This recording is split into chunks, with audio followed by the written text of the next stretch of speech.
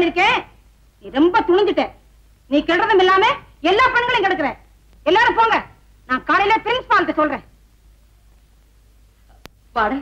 தயவு பண்ணி இந்த ஒரு தடவை மட்டும் மன்னிச்சிடுங்க. வார்டன் இனிமே நாங்க தப்பே பண்ண மாட்டோம். ஆமா வார்டன் பிரின்சிபால் ரொம்ப பொல்லாதவங்க. உங்கள மாதிரி அழகின மனசு அவங்களுக்கு இருக்காது. நீங்க அவங்க கிட்ட சொன்னீங்கன்னா பெரிய மனசு பண்ணி எங்களை மன்னிச்சிடுங்க வார்டன் வார்டன் நான் தாய் இல்லா பொண்ணு. உங்களை என் பெத்த தாய் மாதிரி நினைக்கிறேன். உங்க பொண்ணு இப்படி ஒரு தப்பு பண்ணிருந்தா நீங்க மன்னிக்க மாட்டீங்களா? நீ சும்மா ரெடி வார்டன் கண்டிப்பா நம்மள எல்லாம் மன்னிச்சிடுவாங்க இல்ல வார்டன் சரி சரி யாரும் அழக்கூடாது. யாராவது அழுதா எனக்கு அழுக வரும். நீங்க எல்லாம் வயசு வந்த பொண்ணுங்க. நடுராத்திரில வெளியே போனா ரொம்ப ஆபத்து. இனிமே இந்த மாதிரி தப்பெல்லாம் பண்ண மாட்டீங்க சரி சரி போங்க. என்ன பண்ண I am 40 years old. I have seen Bobby seven times. நல்லா ஏமாத்திட்டோம் எனக்கு தெரியும்டி. நாம அழ ஆரம்பிச்ச உடனே அவங்க கலங்கி போயிட்டாங்க பாத்தியா? ஏண்டி? நீங்க செஞ்ச தப்ப பெருந்தன்மையோட மன்னிச்ச வாடனை பத்தியா கேலியா பேசுறீங்க? ஏய் நீங்க வாடனை ஏமாத்தலடி உங்களை நீங்களே ஏமாத்திக்கிறீங்க. இதோ பாருடி உன் அதட்டல் மிரட்டல் கல்பனாட்ட வச்சுக்கோ. என்ன பத்தி உனக்கு தெரியாது. உன்னை பத்தி எனக்கு நல்லா தெரியும். கல்பனா பாடி உள்ள. நான் வரேன் விஜயா ஹாய் இந்தா ஜாக்கிரதை. யாருக்கும் தெரியாம பார்க்கணும் பத்திரமா திரும்பி தரணும்? சரி விஜயாக்கா என்னடி புஸ்தகம் அது? கல்பனா போரடிக்கும் நேரத்தில் பொழுதுபோக்கும் துணைவன். அதெல்லாம் உனக்கு எதுக்குடி? பேசாம ரேவதி கிட்ட கதா கலட்சம் கேளு. போற வழிக்கு புண்ணியம். ஏண்டி நான் அதை படிக்க கூடாதா? எனக்கு ஒரு புக் கொடுடி. மாசம் சந்தா பத்து ரூபா. தரேன்டி. சரி படிச்சுட்டு திருப்பி தரல. இருபது ரூபா ஃபைன் இந்த மாதிரி புக்கு கிடைக்கவே கிடைக்காது. முக்கியமா ரேவதிக்கு தெரியக்கூடாது. சரிடி. இரு தர்றேன் இந்த புக்க படிக்க ஆரம்பிச்சா என் எறும்புக்கு தொடர்ந்து வந்துகிட்டே இருப்பேன். இந்தா.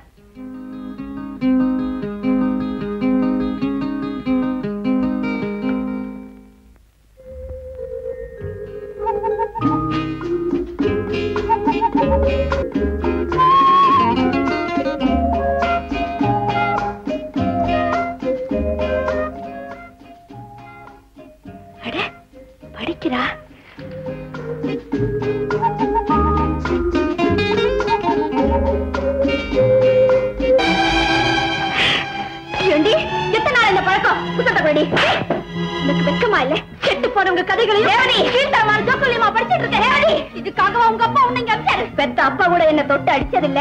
என்ன தைரியம் இருந்தா நீ என்ன கை நீட்டி அடிப்ப? கல்பனா இந்த மாதிரி புத்தகங்களை படிச்சா மனசு கெடும் மார்க்கம் தவறுன்னு தாண்டி. மஞ்சள் பத்திரிகைன்னு சமூகம் மறைச்சு வச்சிருக்கு. நீ தவறான வழியில போயிடக்கூடாதேங்கிற கவலையில தான் உரிமையோட உன்னை அடிச்சு அந்த அளவுக்கு சொந்தம் கொண்டாடுற தப்புன்னா என்ன மன்னிச்சு அதுக்காக ஒரு அளவு வேண்டாம் விஜயா கிட்ட எவ்வளவு கெஞ்சி அந்த புத்தகத்தை வாங்கிட்டு வந்தேன். நீ பாட்டுக்கு சரசரன்னு கிழிச்சு போட்டுட்டேடி. இனி வேற புத்தகம் கேட்ட அவ தருவாளா? இனிமே அவ தந்தாலும் இந்த மாதிரி புத்தகங்களை நீ படிக்கவே கூடாது. ஒழுங்கா பாடங்களை படி. சே, சே, சே, நோய் என்ன விடிஞ்சா எழுந்திருச்சா பாட்டி மாதிரி பேசிக்கிட்டே இருக்கடி. பாரு இனிமே நீ என் கூட பேசாத நானும் உன் கூட பேச போறது இல்ல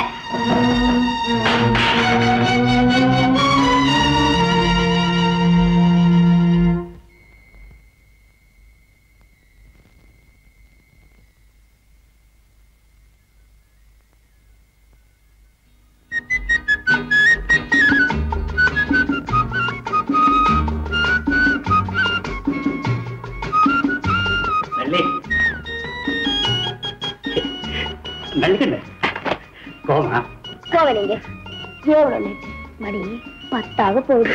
நல்லிக்கண்ணு நான் இந்த ஊருக்கே பெரிய மனுஷன். நாலு பேர் நடமாட்ட நேரத்துல வந்தா எவனாவது பார்த்தா என்ன ஆகுறது?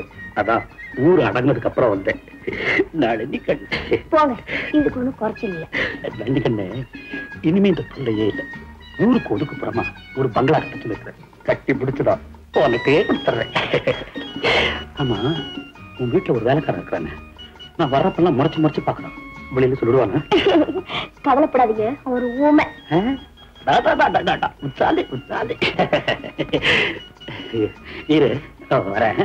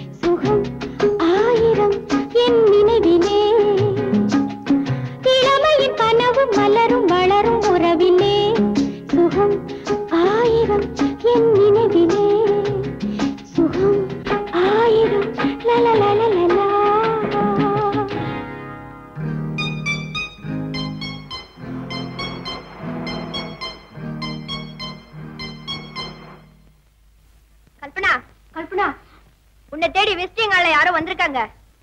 யாரு? ஆ, அப்பாவா இருக்கும்.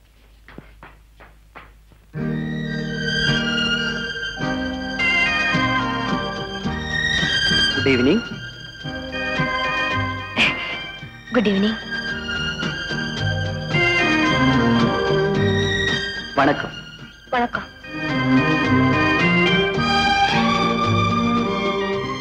நமஸ்காரம்.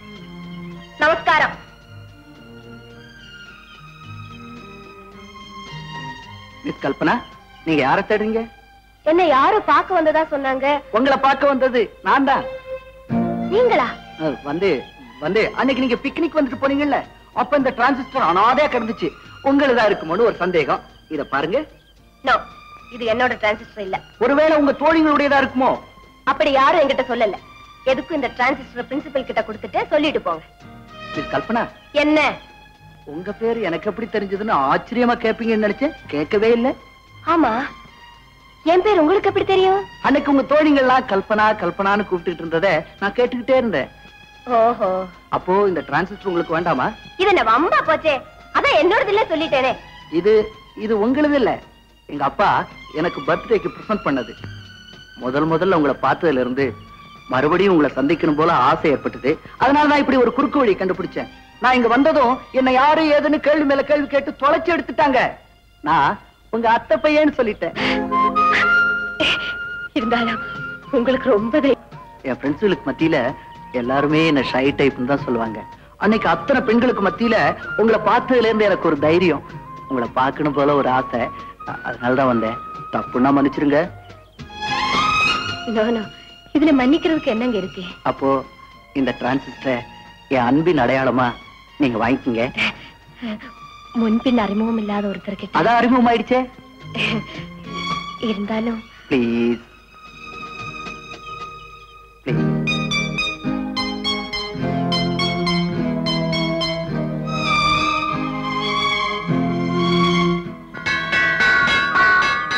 மணி அடிச்சாச்சு. விசிட்டிங் ஹவர்ஸ் முடிஞ்சு போச்சு. நான் வரேன். மறுபடியும் உங்களை எப்ப சந்திக்கலாம்? ஐ மீன் உங்க ஹாஸ்டல்ல எப்பப்போ விசிட்டர்ஸ் அலோவ் பண்றாங்கன்னு கேட்டேன். Wednesday Sunday four to six okay நான் வரேன்.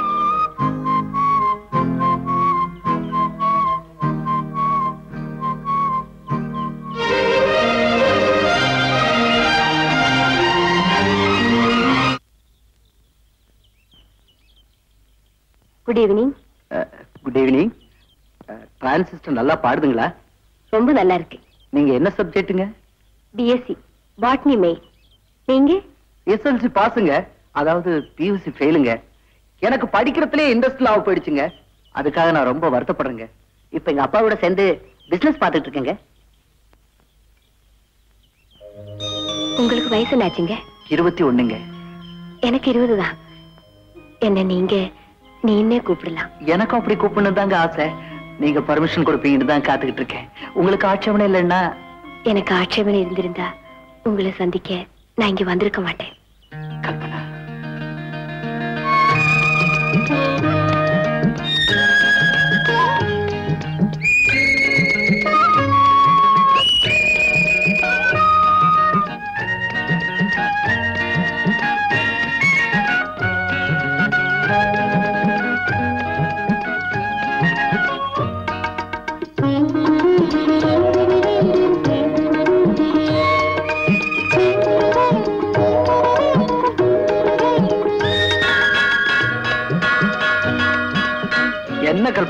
அதுக்குள்ள மணி அடிச்சிட்டாங்க.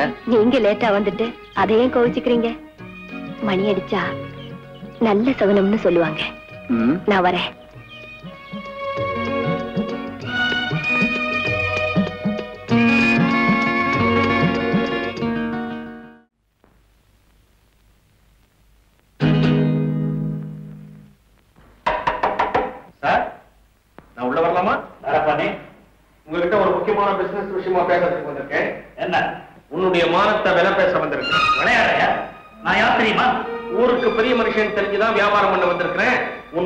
என்ன விலை? நீ அளவுக்கு அதிகமா பேசுற நான் நல்லவனுக்கு நல்லவன் பொல்லாதவனுக்கு பொல்லாதவன். நானும் கெட்டவனுக்கு கெட்டவன். சுருக்கமா சொன்னா சமுதாயத்தில் நடக்கிற ஊழலை காதோட காது வச்ச மாதிரி திருத்தர சீர்திருத்தவாதி.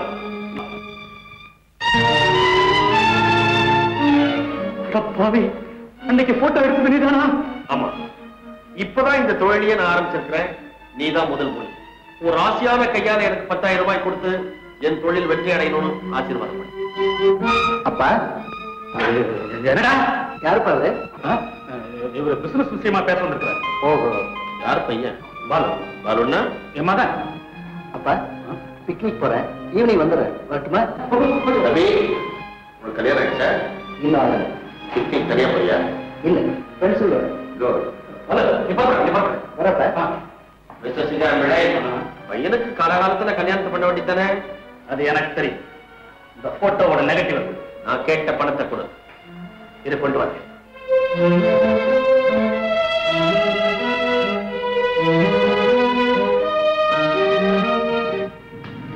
நெகட்டிவ் எடு. பெரிய மனுஷன் கொடுத்த பணம். எண்ண வேண்டியதில்லைன்னு நினைக்கிறேன். பாய்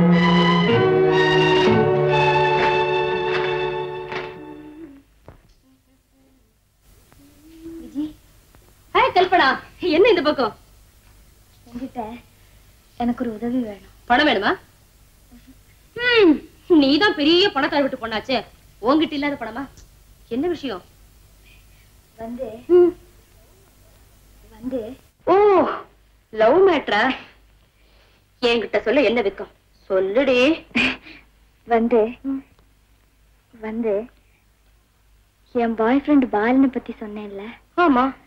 அவரு நாளைக்கே திருமாவுக்கு வரியான்னு கேட்டாரு. நானும் வரேன் சொல்லிட்டேன். வார்டங்கிட்ட எப்படி பர்மிஷன் கேக்குறேன்னு தெரியலடி. வாரன் கிட்ட பெர்மிஷன் வாங்கணுமா? அதுல நான் எக்ஸ்பெக்டடி இந்த ஊர்ல எங்க பெரியப்பா இருக்காரு. அவருக்கு பிறந்த நாள் சொல்லி ஒன்ன கூட்டிட்டு போக பெர்மிஷன் வாங்குறேன். Hi Balan hi you N best friend glad to meet you. வணக்கம். ஆ கல்பனா. சினிமாக்கு போயிட்டு சீக்கிரம் வந்துடு இல்லன்னா வாரன் என்ன சும்மா விடாது. சரி bye bye. பாய்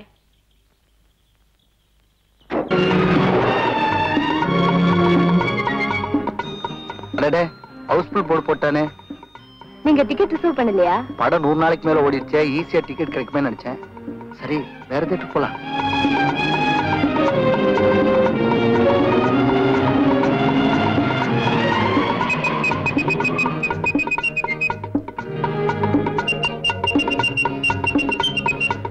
என்னங்க நீங்க? இங்கேயும் ஃபுல் போர்டு போட்டுட்டாங்களே? வேற தேட்டர் போலாம். போங்க நீங்க.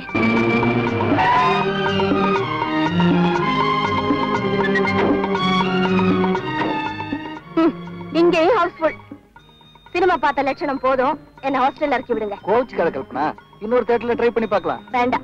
இப்போவே மணி மூன்றரை ஆச்சு. டிக்கெட் கிடைச்சாலும் படம் ஆரம்பிச்சிருப்பாங்க. வாங்க. கல்பனா.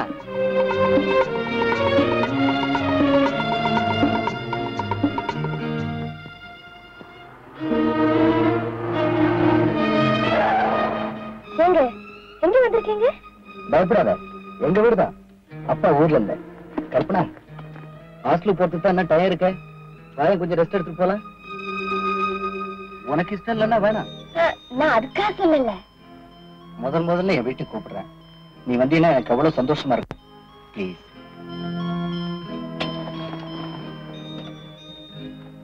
கல்பனா. On.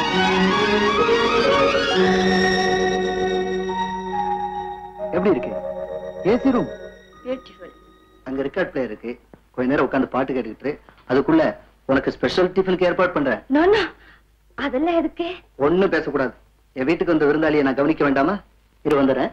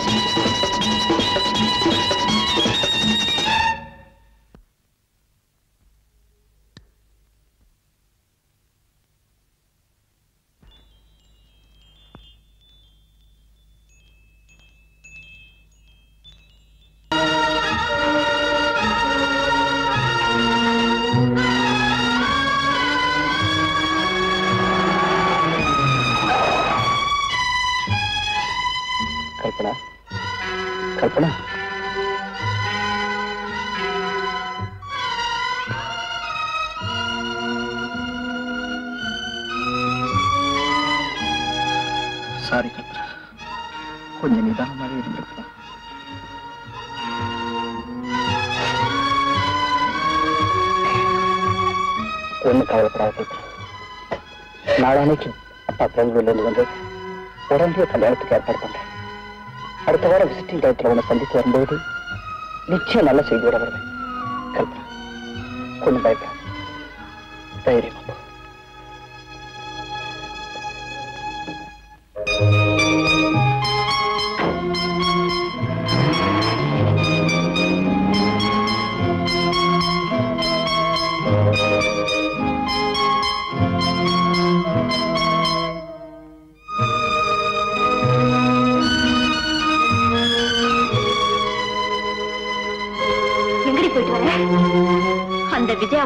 விஜயாவோட பல தடவை சொல்லியிருக்கேன்.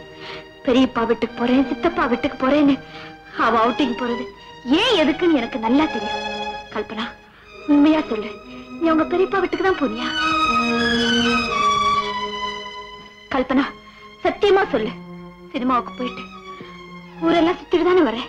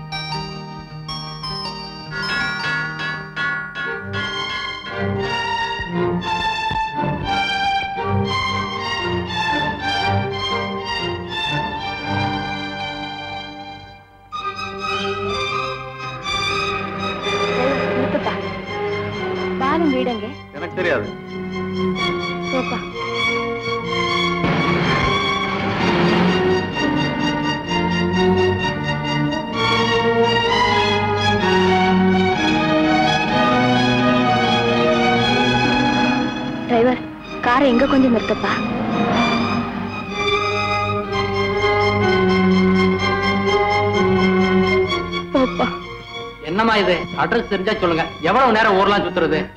ஒரு தடவை தான் வந்திருக்கேன். என்ன ஹாஸ்டல்ல கொண்டு விட்டுடு.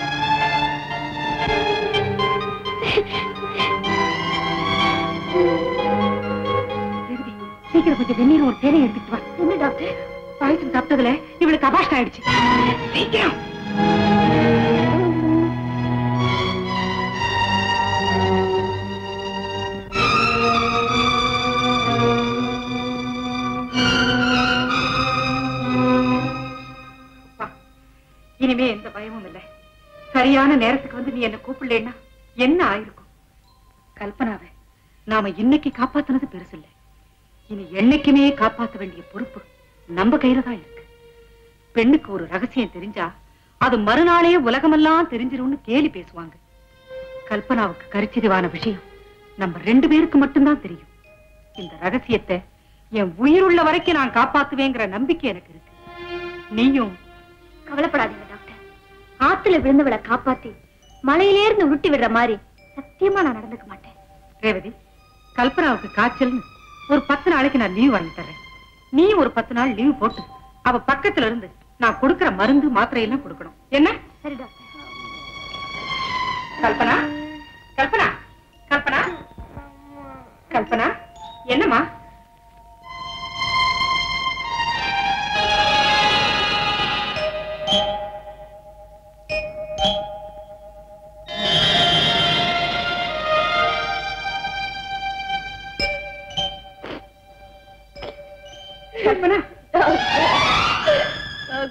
கல்பனா கல்பனா அழாதம்மா.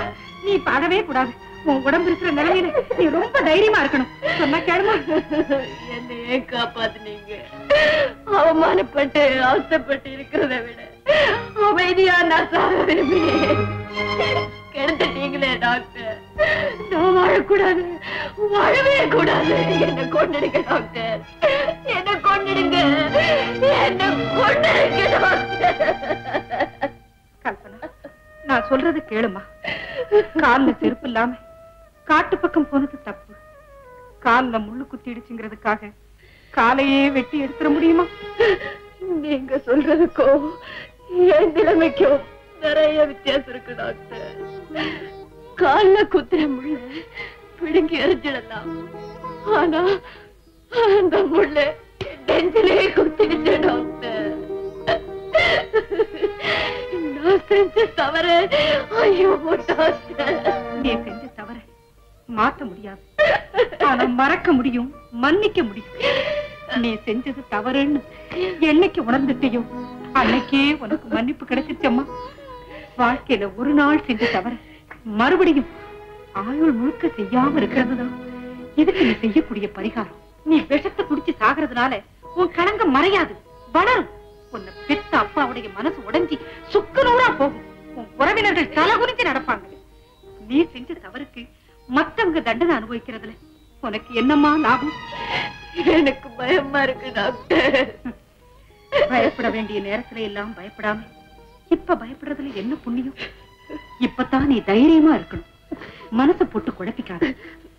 கல்பனா இப்ப உனக்கு தேவை ஃபுல் ரெஸ்ட் அமைதியா இருக்கணும். இப்ப உனக்கு கிடைச்சிருக்கிறது புதிய பிறவி. இந்த பிறவியில இனிமே எந்த தவறும் செய்ய மாட்டேன்னு நீ சபதம் எடுத்துக்க. கடவுள் உனக்குன்னு வகுத்த வாழ்க்கையை நீ மனப்பூர்வமா ஏத்துக்கம்மா. ரேவதி நான் சொன்னதெல்லாம் ஞாபகம் இருக்கட்டும். நான் காலையில வந்து பாக்குறேன்.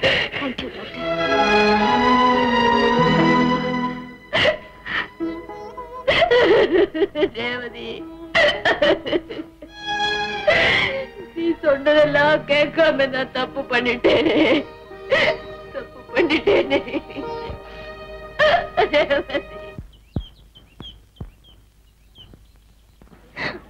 ஹாய் கல்பனா. என்னடி கல்பனா? உடம்புக்கு எப்படி இருக்கு? இப்ப பரவாயில்ல. என்னடி இது? சாதாரண காய்ச்சல்ல? ஆளே அடையாளம் தெரியாம மாறிட்டியே. காய்ச்சல் வந்து மெலியலடி. காலேஜுக்கு வர முடியலையே. பரீட்சை வேற கிட்ட வருதுல்ல. அந்த கவலையில தான் மெலிஞ்சிட்டா. வாங்கடி போலாம்.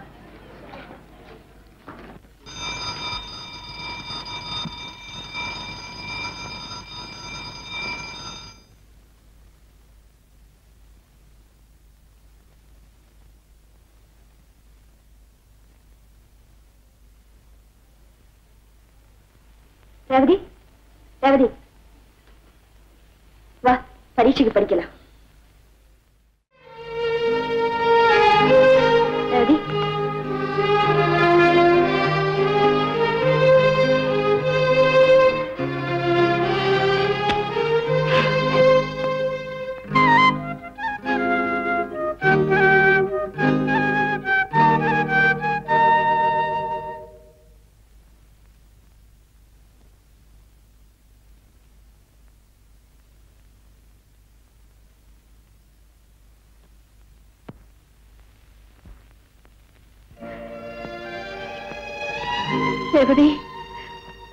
வருஷமா ஒரே ரூம்ல ஒன்னா வாழ்ந்தோம். உன்னை பிரிஞ்சு எப்படி வாழ்றதுன்னு எனக்கே தெரியல. மக்கு தைரியமா போடி.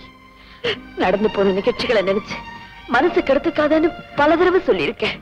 ஞாபகம் வச்சுக்க. ரேவதி நான் வரேன்.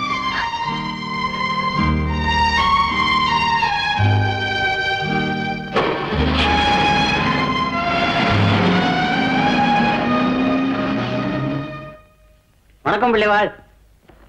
வாங்க வாங்க. என்னய்யா அது? ஒரு மாசமா இந்த பக்கம் ஆளையே காணோம். உங்க தகுந்த மாதிரி மாப்பிள்ளை கிடைக்க வேண்டாமோ? அதான் வெயிட் பண்ணேன்.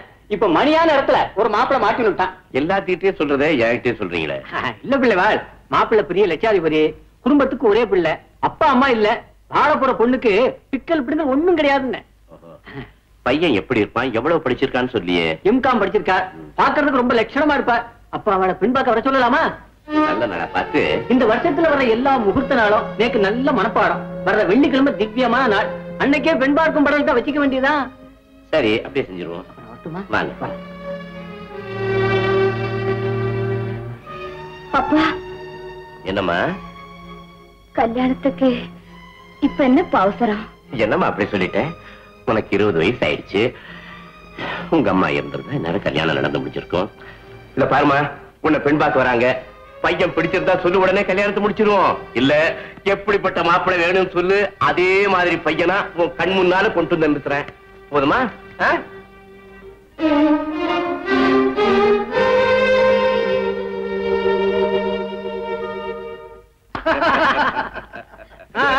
ஒன்னும் வர சொல்லுங்க.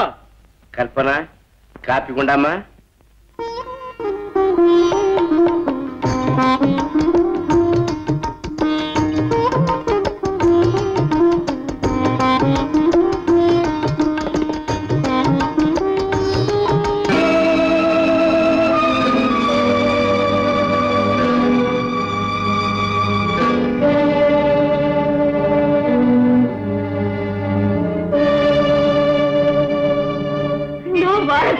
டாக்டர் நான் வாழவே கூடாது. என்ன கொண்டுடுங்க டாக்டர். என்ன கொண்டுடுங்க டாக்டர். என்ன கொண்டுடுங்க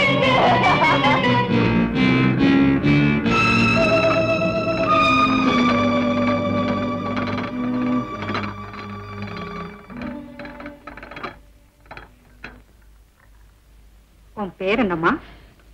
கல்பனா. என்னம்மா படிச்சிருக்க?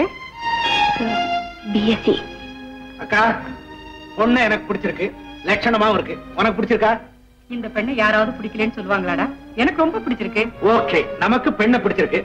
பெண்ணுக்கு என்ன பிடிச்சிருக்கான்னு கேளு. என் தம்பி எப்பவுமே இப்படித்தான்.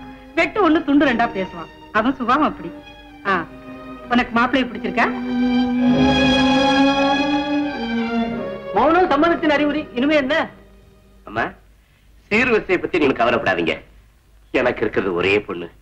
என் ஆஸ்தி எல்லாம் அவளுக்கு தானமா பிள்ளைவா கடல்ல நரி கலக்கும்னு கேள்விப்பட்டிருக்கேன். இப்ப கடல்ல கடலே கலக்குது. அங்கேயும் ஏகப்பட்ட ஆஸ்தி ஒரே பிள்ளை இங்கேயும் ஏகப்பட்ட ஆஸ்தி ஒரே பொண்ணு சீர்வரிசைய சிறப்பா செஞ்சிடுவாரு. அவங்க இஷ்டம். எப்படி வேணாலும் செய்யட்டும்.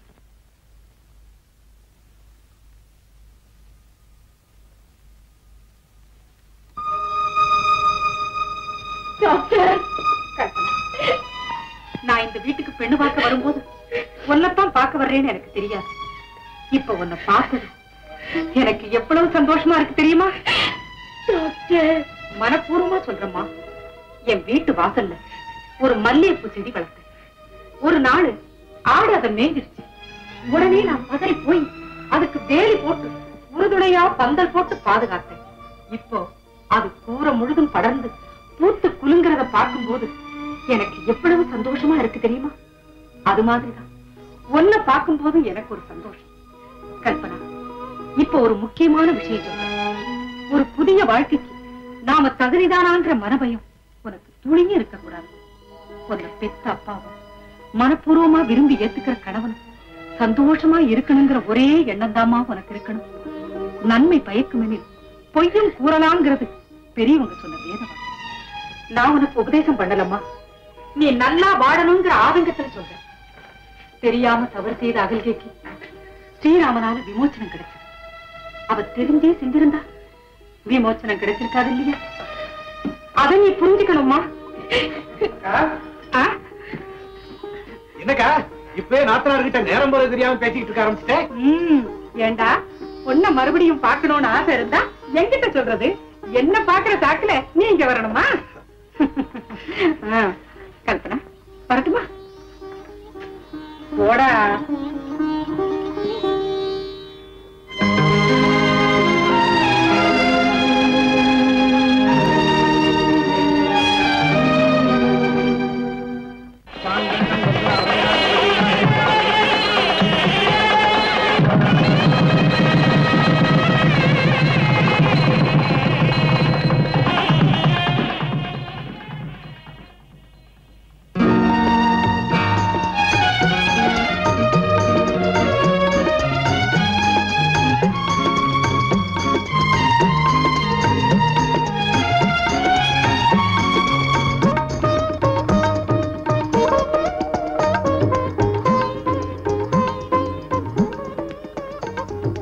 தீர்க்க சுமங்கலியார்.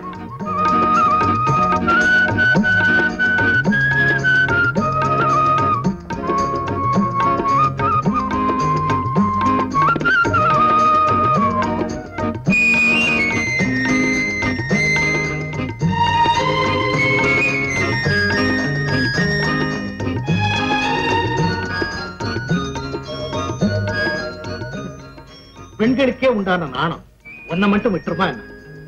கல்பனா வாழ்க்கைங்கிறது ஒரு விசித்திரமான விளையாட்டுன்னு சொல்லுவாங்க. அது எவ்வளவு உண்மை. வெவ்வேறு நேர்கோட்டுல பிறந்து வளர்ந்த நம்ம கல்யாணங்கிற பந்தம் ஒரு இணக்கோட்டுல இணைச்சு வச்சிருச்சு. என் வாழ்க்கையை பத்தி உனக்கு தெரியாது உன் வாழ்க்கையை பத்தி எனக்கு தெரியாது. வாழ்க்கை முழுதும் சுகதுக்கங்கள்ல சரிபாதி பங்கெடுத்துக்க வேண்டிய கணவனும் மனைவியும் உடல் ரகசியங்களை மட்டுமல்ல உள்ளத்து ரகசியங்களையும் பரிமாறிக்கணுங்கிறதுக்காகத்தான் பெரியவங்க இந்த மாதிரி ரகசிய ஏற்பாட்டையே செஞ்சு கொடுத்திருக்காங்க. முதலிரவு நாம ரெண்டு பேரும் சந்திச்சிருக்கோம். என்ன பத்தி உனக்கு சொல்ல வேண்டியது என் கடமை உன்னை பத்தி எனக்கு சொல்ல வேண்டியது உன் கடமை. பெரிய பணக்கார குடும்பத்துல ஒரே ஆம்பளை பிள்ளையா பிறந்த என்ன? வழிதவறி போகாம வளர்த்து ஆளாக்குனதோட அவர் கடமை முடிஞ்சதுன்னு எங்க அப்பா போயிட்டாரு. சின்ன வயசுலயே பெரிய பொறுப்புகளை எடுத்துக்கிட்டதுனால பணக்கார பிள்ளைங்களுக்கே உண்டான உல்லாச கேளிக்கைகளுக்கு என் வாழ்க்கையில இடமே இல்லாம போயிடுச்சு. இருந்தாலும் வேலியில படர வேண்டிய கொடிய வீட்டுக்குள்ள வச்சாலும் அது வளர்ந்த உடனே ஜன்னல்ல தொத்திக்குது இல்லையா? அதே மாதிரி நான் நெருங்கி பழக வேண்டிய நிலைமையில இருந்த என் ஸ்டெனோ டைபிஸ்ட் சுமதி கிட்ட என் மனசை பறிகொடுத்து ரெண்டு பேரும் அளவு கிடந்து பழகணும். அவளையே நான் கல்யாணம் செஞ்சுக்கிறேன்னு முடிவு பண்ணதுனால எல்லை தாண்டி கூட உறவு வச்சுக்கிட்டோம். ஒரு நாள் அவ ஃப்ரெண்டு கிட்ட பேசிக்கிட்டு இருந்த நான் கேட்க வேண்டிய நிலைமை ஏற்பட்டு போச்சு. முதலாளி அசடு சரியா என் வலையில சிக்கிக்கிட்டாரு. அப்படி இப்படின்னு சச்சே. உடனே அவளை கூப்பிட்டு என்ன வேணும்னு கேட்டு கேட்டதை கொடுத்து அனுப்பிட்டேன் அப்புறம் கல்யாணமே வேண்டான்னு வாழ்க்கையே வெறுத்து போயிருந்த என்ன எங்க அக்கா தான் வற்புறுத்தி உன்னை பெண் பார்க்க கூட்டிட்டு வந்தாங்க உன்னை பார்த்த உடனே எனக்கு ரொம்ப பிடிச்சு போச்சு. இந்த புதிய வாழ்க்கையை நான் மனப்பூர்வமா ஏற்றுக்கிட்டேன் இதையெல்லாம் ஏன் உன்கிட்ட நான் சொல்றேன்னா நாளை பின்ன வேற யார் மூலியமாவது இதையெல்லாம் கேள்விப்படும் போது என்ன பத்தி நீ தப்பா நினைக்க கூடாதுல்ல அதுக்காக நான் ஒரு வியாபாரி.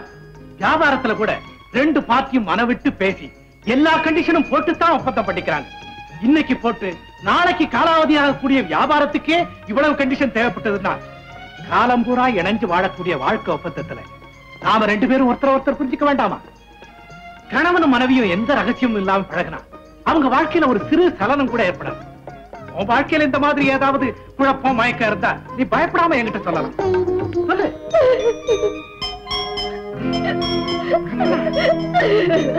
கல்பனா. சாரி நான் எவ்வளவு பெரிய மழை பண்புங்கிற எல்லை கோட்டுக்குள்ள கட்டுப்பாடா வளர்ந்து கல்யாணங்கிற வட்டத்துக்குள்ள மலர்ந்த முகத்தோட வந்தவன நான் இப்படி கேட்டிருக்க கூடாது.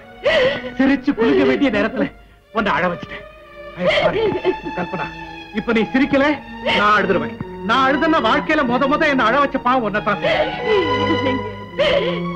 நான் அழலாம் நீங்க அழக்கூடாது. நீங்க அழவே கூடாது. நான் அழக்கூடாதுன்னா நீ அழக்கூடாது. சரி. சரி. ஆ.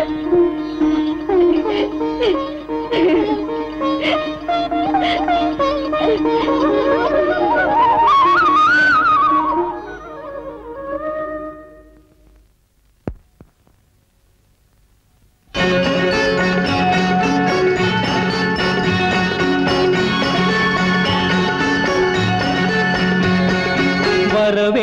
வாழ்க்கையில் வசந்தம். அது தர வேண்டும் வள இன்பம். வர வேண்டும் வாழ்க்கையில் வசந்தம். அது தர வேண்டும் வள காதல் இன்பம். உனக்கென நானும் எனக்கென நீயும் இல்லறம் தொடரட்டும் இனிதாக என்றும் வர வேண்டும் வாழ்க்கையில் வசந்தம். அது தர வேண்டும் வள காதல் இன்பம்.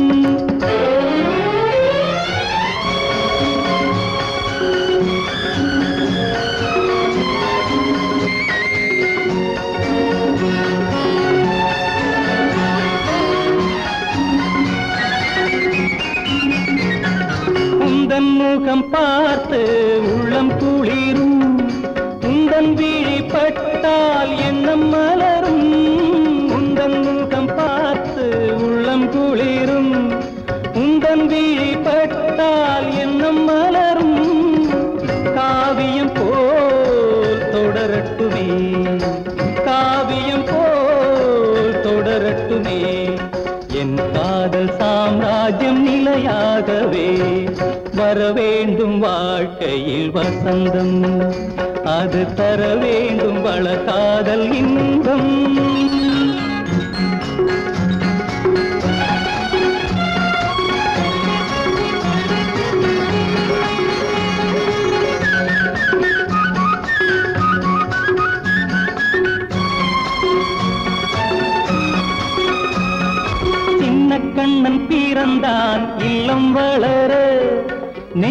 வைத்து வளர்த்தேன் ஊர் புகழ.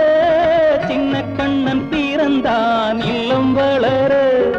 நெஞ்சில் வைத்து வளர்த்தேன் ஊர் புகழ. வாழையடி வாழையன. வாழையடி வாழையன. வளரட்டும் எதிர்காலம் இனிதாகவே. வர வேண்டும் வாழ்க்கையில் வசந்தம். அது தர வேண்டும் வளர்காதல் இன்பம்.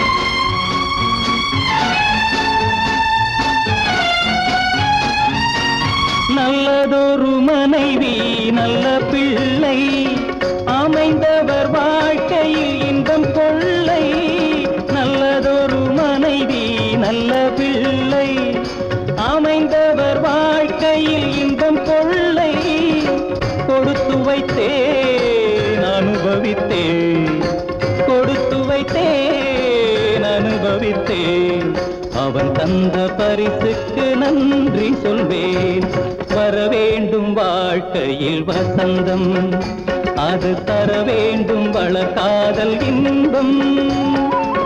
உனக்கென நானும் எனக்கென நீயும் இல்லறம் தொடரட்டும் இனிதாக என்றும் வர வேண்டும் வாழ்க்கையில் வசந்தம்.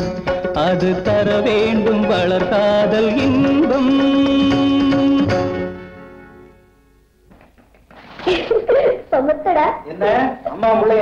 இருக்கீங்க உங்க பிள்ளை ஸ்கூலுக்கு போய் என்னென்ன கத்துக்கிட்டு வந்திருக்கா பாருங்க. என்னென்ன கத்துட்டு வந்திருக்கான் உட்கார் உட்கார். எனக்கும் சொல்லுப்பா. இருங்க என்ன சொல்ல சொல்றேன். பாபு ட்ரெயின் எப்படிடா போகும்?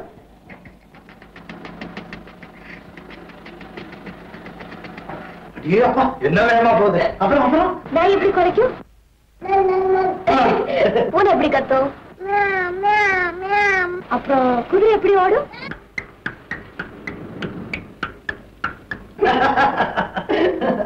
இது கண்ணா உனக்கு அப்பா பிடிக்குமா? அம்மா பிடிக்குமா? பாத்தியா? அது சரி. கல்பனா உன் பிள்ளை பழச்சுக்குவான். கெட்டிக்கார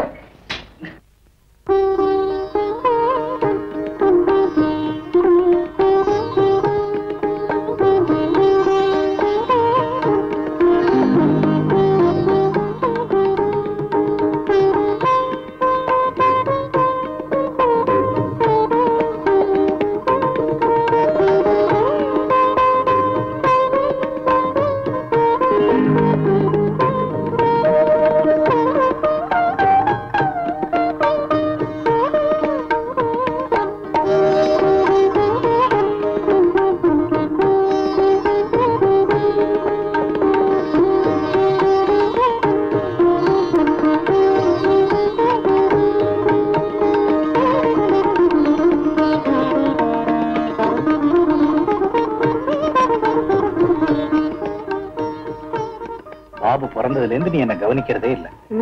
நிஜமா அம்மா முட்டுறேன்.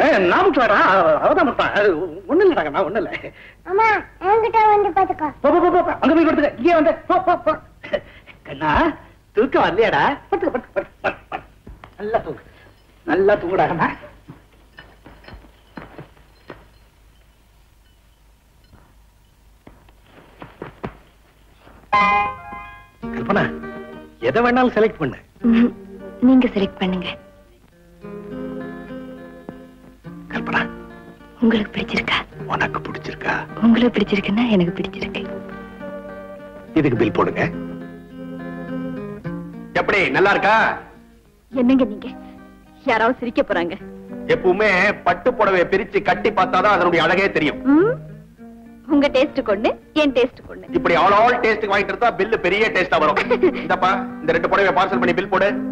ரெண்டும் வாங்கிட்டேன் ம்.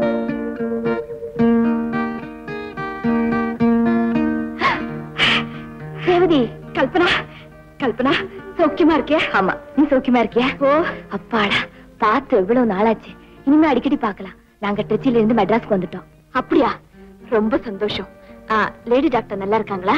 நல்லா இருக்காங்க அவங்க கொடுத்த வாழ்க்கையினால தான் நான் சந்தோஷமா இருக்கேன். என்னங்க? இங்க வாங்க. இவ என் ஃப்ரெண்டு கல்பனா. இவர் என் கணவர். வணக்கம். என்னங்க நான் அடிக்கடி சொல்வேன் ரேவதின்னு. இவதான். இவர் என் வீட்டுக்காரர். வணக்கம். அவர் என்னோட husband Glad to meet you. My name is Vasan, still photographer. My name is Sukumar What are you, sir? Business அச்சா நீங்களாம் ஒரு நாளைக்கு நம்ம வீட்டுக்கு வரணும். நோ நீங்க எங்க வீட்டுக்கு வாங்க? என் வீட்டுக்காரர் தானே முதல்ல கூப்பிட்டாரு. முதல்ல நீங்க வாங்க அப்புறம் நாங்க வரோம். என் வீட்டுக்காரர் பந்திக்கு முந்தி. மத்ததுக்கெல்லாம்.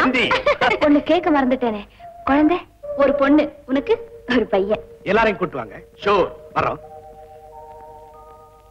வாங்க. பாக்கி பணம் வாங்க வேண்டாம். சீக்கிரம் வாங்க. லேஸ்ல சில்லறை கொடுக்க மாட்டீங்களே? சில்லறை இல்லைன்னு கடிச்சு தலையில கட்டுவீங்க okay come on hello sir வாங்க வாங்க வாங்க வாங்க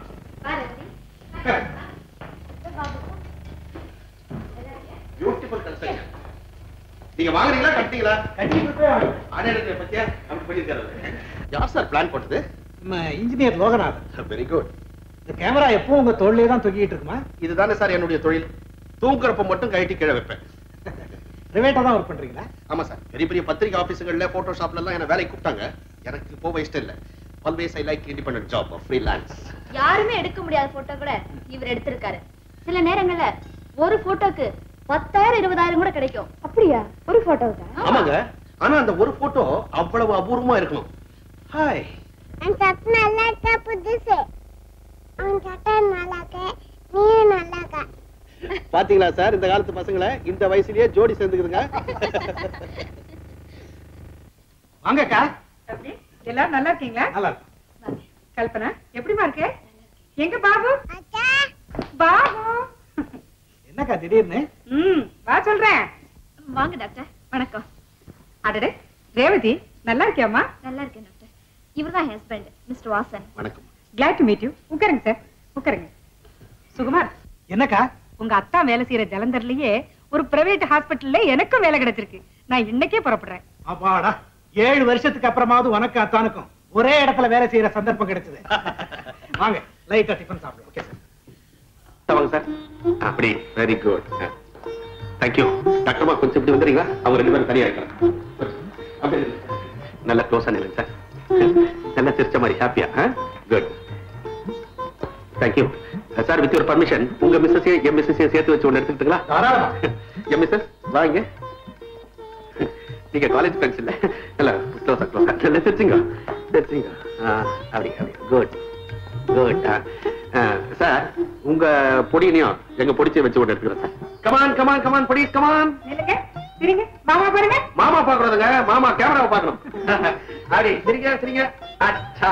என்னங்க? எங்களையும் குழந்தைங்களோட சேர்த்து எடுங்க. நில்லுங்களேன் ஆ எஸ் சரிங்க. ஓகே நீ வந்துரு எப்படி? என் மிஸ்டர்ஸ் இப்படி வா. கொஞ்சம் அந்த அம்மா குழந்தைய க்ளோஸ் எடுத்துக்கிறேன். அப்படி நில்லுங்கம்மா தேங்க்யூ இந்த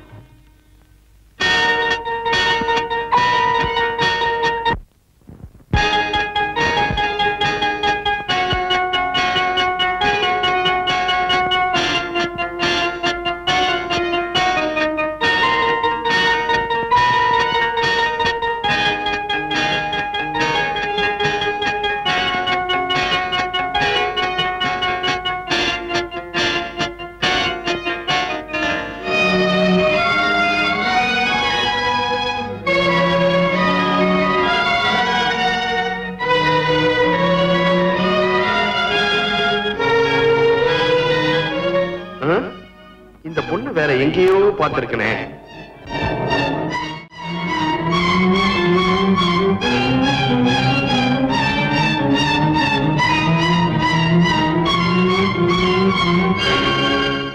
சிங்காரம் பிள்ளை மகன் கல்யாணத்துக்கு முன்னால ஒரு பொண்ணோட சுத்துறான்னா அதுக்கு என்ன அர்த்தம்? வசன் இன்னைக்கு உன் கேமராவுக்கு நல்ல தீனி. உள்ள போ.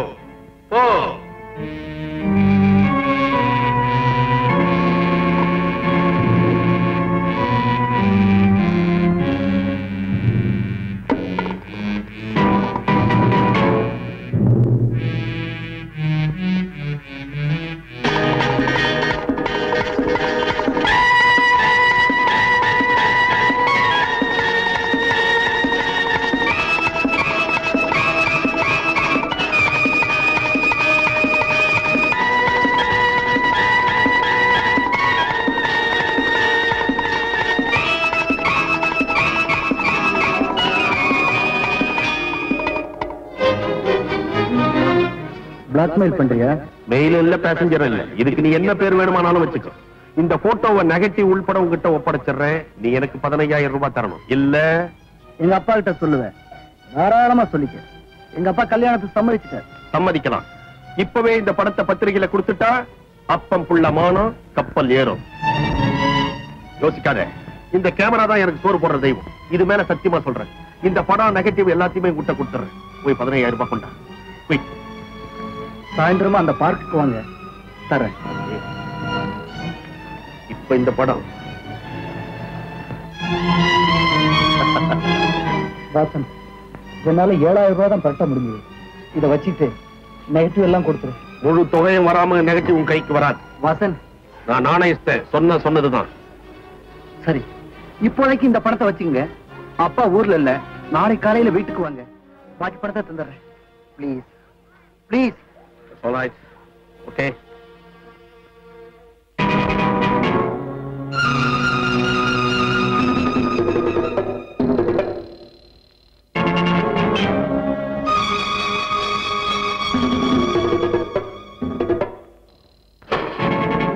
என்ன அப்பம் பிள்ளைய சேர்த்து போலீஸ் அரெஸ்ட் பண்ணிட்டு போகுது? அதை ஏயா கேக்குறீங்க? பெங்களூர்ல இருந்து வந்த எங்க முதலாளியை கூட்டிட்டு வரதுக்கு ஏரோட்ரமுக்கு பாலம் போயிருந்தா. வர்ற வழியில காரை செக் பண்ணாங்க. அதுல பத்து லட்சம் ரூபாய் பெருமான தங்க இருந்துச்சு. உடனே வீட்டையும் செக் பண்ணாங்க. அங்க ஏகப்பட்ட கள்ளக்கடத்தல் பொருள் இருந்துச்சு. அதனாலதான் அரெஸ்ட் பண்ணி கூட்டிட்டு போறாங்க. இந்த காலத்துல யார நம்ப முடியும்? நமக்கு எட்டாயிரம் ரூபாய் போச்சு. சுகுமாரனுடைய மனைவி கல்பனா பாலனுடைய காதலியா? பழைய நெகட்டிவ் உடனே தேடி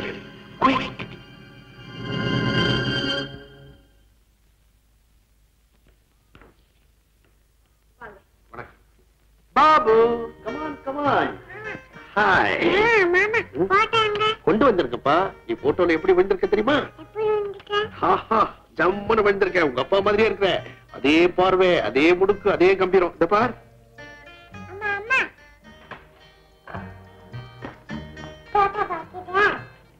நல்லா கண்ணா. மேரேஜுக்கு காட்டணும். எல்லா இருந்துச்சா? ரொம்ப அருமையா வந்திருக்குங்க. நீங்களே பாருங்க. ஆச்சரியப்பட்டு போய் இதுல ரேவதி ரொம்ப அழகா இருக்கா? தேங்க்ஸ்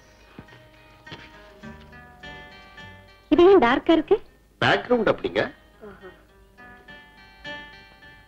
அவர் ரொம்ப நல்லா இருக்கா? ஏன் பக்கத்துல நீங்களும் தான் ரொம்ப அழகா இருக்கீங்க?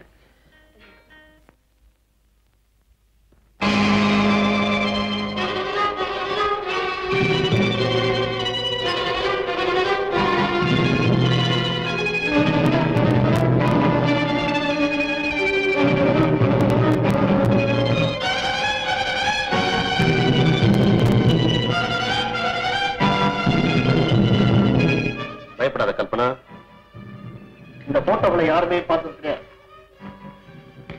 வாதம் பார்த்திருக்கான். ரெண்டாவது நீ. வேற யாருக்குமே தெரியாது. இந்த போட்டோ எப்படி என் கைக்கு வந்தது? யார் எடுத்தது? அப்படின்னு தானே யோசிக்கிறேன். இந்த போட்டோவை எடுத்தது நான் தான். இந்த மாதிரி போட்டோக்களை எடுக்கிறது தான் என்னுடைய தொழில். வாழ்க்கையில தவறே செய்யாம இந்த காலத்துல யாராலையும் வாழ முடியறதே இல்லை. சில பேர் தெரியாம தவறு செய்யறாங்க நான் தெரிஞ்சுதான் செய்யறேன் ஆனா என்னால இது வரைக்கும் யாரும் கெட்டதே கிடையாது. நீ செஞ்ச புண்ணியம் இந்த போட்டோவை நான் எடுத்தேன். வேற யாராவது எடுத்திருந்தா உங்க என்ன ஆயிருக்கும்? அதெல்லாம் விட்டுடுவோம். விஷயத்துக்கு வரும் தெரிஞ்சோ தெரியாமலோ ஆண்டவன் உன்னை மன்னிச்சு எத்தனை லட்சம் கொடுத்தாலும் கிடைக்க முடியாத ஒரு வாழ்க்கையை கொடுத்திருக்கான் அது கடைசி வரைக்கும் உனக்கு நீடிக்கணும்னா இந்த போட்டோக்களை நெகட்டிவ் உள்பட தீயில போட்டு பசுக்கணும்.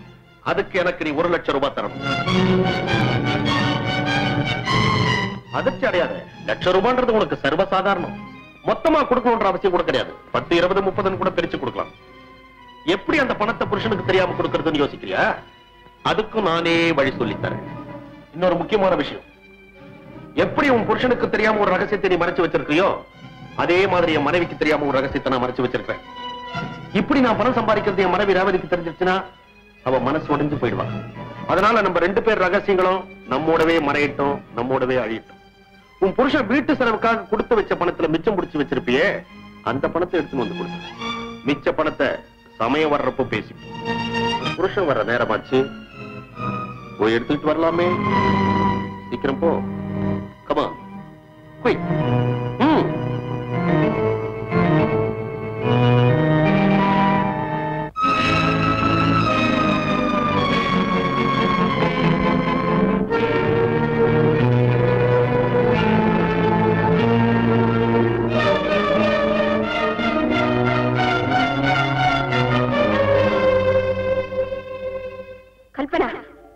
எப்பவோ நீ செஞ்ச தவறுக்கு நினைவு சின்னங்களோட அவன் வந்திருக்கா.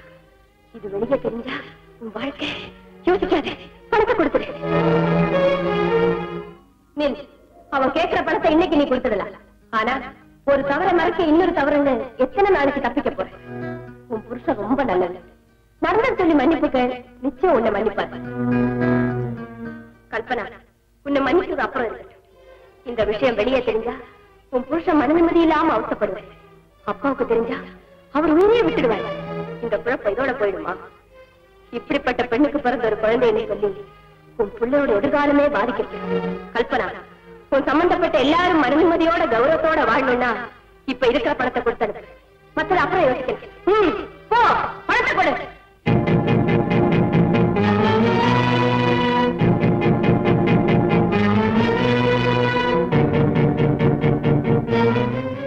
இந்தாங்க. எவ்வளவு இருக்கு? சரி சரி நானே எண்ணி பார்த்துக்கிறேன். என்னடா லட்ச ரூபாய்க்கு மேல் கொண்டு பணத்தை மிரட்டி வாங்குவான்னு நினைக்காத. நான் தொழில் நானே உள்ளவன். அப்படியே நீ இஷ்டப்பட்டு ஏதாவது பணம் கொடுத்தா கூட அதுல சல்லி காசு நான் தொட மாட்டேன். இந்தா இது உன்னுடைய குடும்ப போட்டோ இது லட்ச ரூபாய் போட்டோ. அவரேன் தேங்க்யூ ரமணி கலா! ஓடி வா ஓடி உனக்கு என்னென்ன வாங்கிட்டு வந்திருக்க பாத்தியா? பந்து பெலூனு மயில் இந்த சாக்லேட் அதெல்லாம் என்னங்க? இன்னைக்கு ஒரே தடபடா வந்திருக்கீங்க? ரேவதி இப்ப நீ ஆச்சரியப்பட போற. என்னங்க? எதுங்க இவ்வளவு பணம்? அது ரேவதி நாலு வருஷத்துக்கு முன்னால நான் ரோட்ல நடந்து வந்துகிட்டே இருந்தேன்.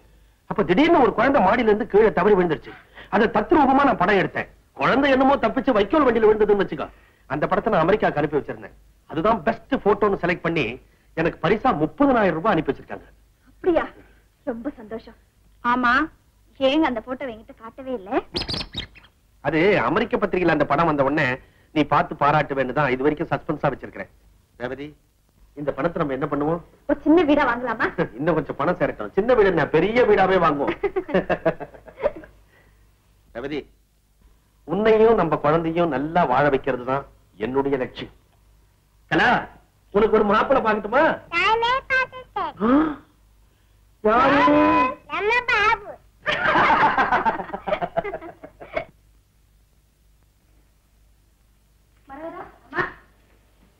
மணி ஆறு ஆக போகுது பாபு இன்னும் காணோமே நான் வேணா போய் பார்த்துட்டு வரட்டுமாமா அம்மா ஸ்கூல் விட்டு ரொம்ப நேரம் ஆகியும் பாபு அழைச்சிட்டு போக யாருமே வரலாமா அழுதுகிட்டே இருந்தா ஹெட்மாஸ்டர் போய் வீட்டுல விட்டு வர சொன்னாங்க. அதாம்மா வந்தேன். வரட்டுங்களா சரிப்பா. அப்பா வரலையா பாபு? அப்பா இல்லம்மா என்ன பக்கம் போயிட்டாங்க. பயமா இருந்தம்மா. பாபு உன்னை யார் கொண்டாந்து விட்டா? ஸ்கூல் பியோ. ஸ்கூல்ல காணணும்னு நான் பயந்தே போயிட்டேன். இது உங்களுக்கே நல்லா இருக்கா? பையன் அழுதுகிட்டு எங்கேயாவது போனா என்ன ஆகும்? சாரி கல்பனா. ஒரு முக்கியமான வேலையா போயிருந்தேன். வேலை மும்முரத்துல இவனை மறந்தே போயிட்டேன்.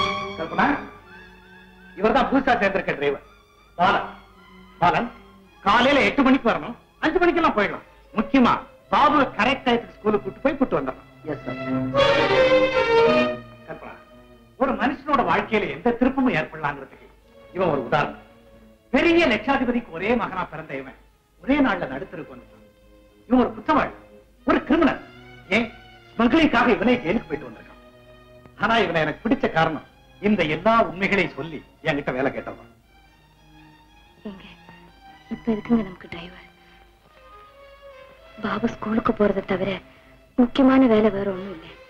வேணும்னா பாபுவை ஸ்கூல் பஸ்ஸே வந்து கூட்டிட்டு போக சொல்லலாமே. பாபுக்காக மட்டும் நான் இப்ப டிரைவர் சேர்க்கல. எல்லா வேலைகளுக்கும் நானே வண்டியை எடுக்க வேண்டியிருக்கு. அவன் இருந்தா எனக்கு உதவியா இருக்கும். பாலன் நாளை காலையில நீ வேலைக்கு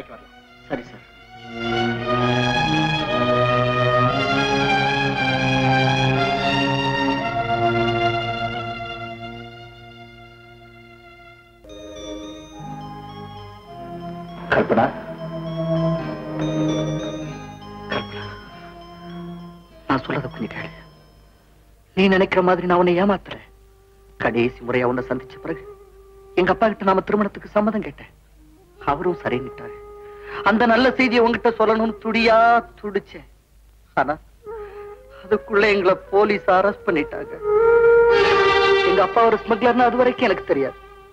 எங்க அப்பாவுக்கு ஆயுள் தண்டனையும் எனக்கு அஞ்சு வருஷம் சிறை தண்டனையும் கொடுத்துட்டாங்க. தண்டனை முடிஞ்சு வெளியில வந்து உன்னை எங்கெங்கெல்லாமோ தேடி அலைஞ்சேன். ஆனா எந்த விவரமும் கிடைக்கல. பல இடத்துல வேலை தேடி அலைஞ்சேன். கடைசியா தான் சுகுமார சந்திச்சு வேலை கேட்டேன். ஆனா அவர் தான் உன் புருஷங்கிறது எனக்கு தெரியாது. தெரிஞ்சிருந்தா இந்த பக்கமே வந்திருக்க மாட்டேன். இப்பவே வேலையை விட்டு போயிடுவேன். ஆனா திடீர்னு போனா சந்தேகம் ஏற்படும். அதனால நானே ஏதாவது தப்பு பண்ணி உன் புருஷனே என்னை வேலை விட்டு போன்னு சொல்ற மாதிரி நடந்துகிட்டு சீக்கிரம் போயிட்டம்மா கல்பனா. சத்தியமா சொல்றேன். யாருக்கு எந்த நேரத்திலையும் மனசார கூட நான் தீங்கு நினைச்சது கிடையாது. விதி என் வாழ்க்கையில ஏன் இப்படி விளையாடுதுன்னு எனக்கே புரியல. ஆனா கல்பனா என்ன ஆனாலும் எப்படி இருக்காளோன்னு நேத்து வரைக்கும் நான் பட்ட வேதனை இன்னைக்கு நின்று போச்சு? என்ன மன்னிச்சு உன் நிழலை கூட நான் தொடக்கூடாதுமா தொடக்கூடாது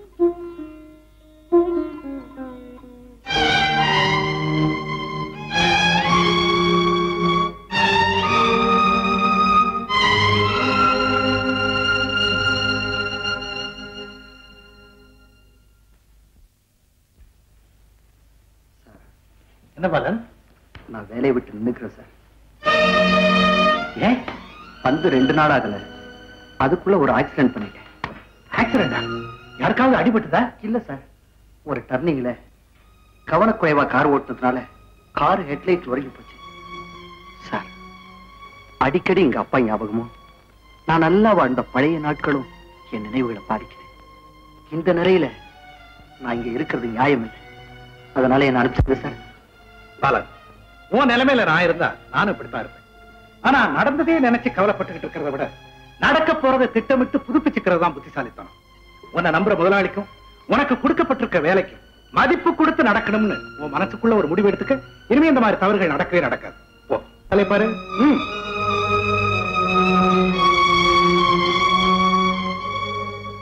கல்பனா என்ன பண்ணிட்டு இருக்க? தூசியை துடைக்கிறேன் போக மாட்டேங்குது. வேலைக்காரியை கூப்பிட்டு தொடக்கிட்டோம்.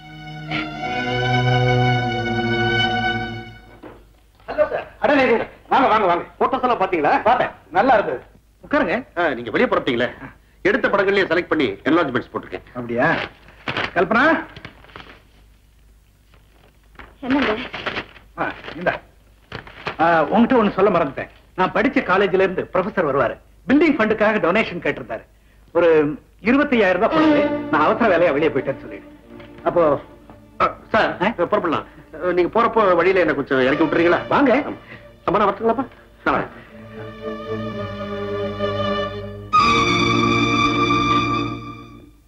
சுகுமார்? சுகுமார்? வாங்க வாங்க. அவர் அவசரமா வெளியே போயிருக்காரு. நீங்க? திலகர் காலேஜ்னு வந்திருக்கோம். ஓ நீங்க வருவீங்கன்னு அவர் சொன்னாரு. டொனேஷன் விஷயம் தானே? ஆமா. உட்காருங்க. இதோ வந்துட்டேன். மரகதா நாங்கம்மா அவங்களுக்கு காஃபி கொடு. சரிம்மா.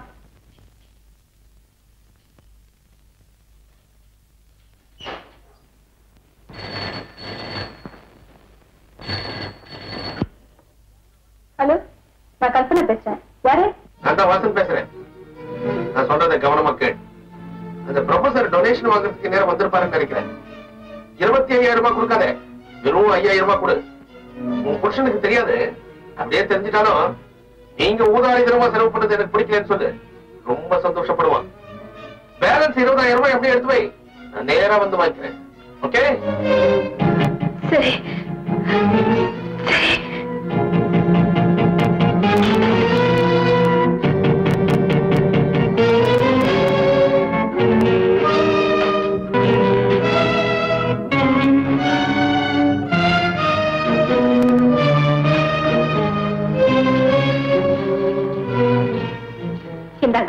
ஐயாயிரம் ரூபாய் எங்க கிட்ட அவர் இருபத்தி ஐயாயிரம் ரூபாய் கொடுக்கறதா சொன்னாரு?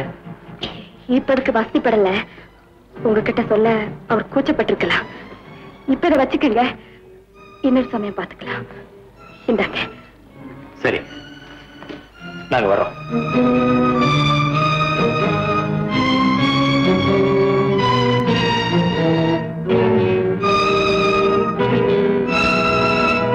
கல்பனா நீ ஏற்கனவே முப்பதாயிரம் ரூபாய் கொடுத்துருக்க. இப்ப இருபதாயிரம் ரூபாய். மொத்தம் ஐம்பதாயிரம் ரூபாய் ஆச்சு நான் ஏன் இதை சொல்றேன்னா கணக்குல நான் ரொம்ப கரெக்டா இருப்பேன். மிச்ச பணத்தை நீ எப்படி புரட்டணுன்ற விஷயத்த நான் யோசிச்சு சொல்றேன். நான் வரட்டுமா? பாய்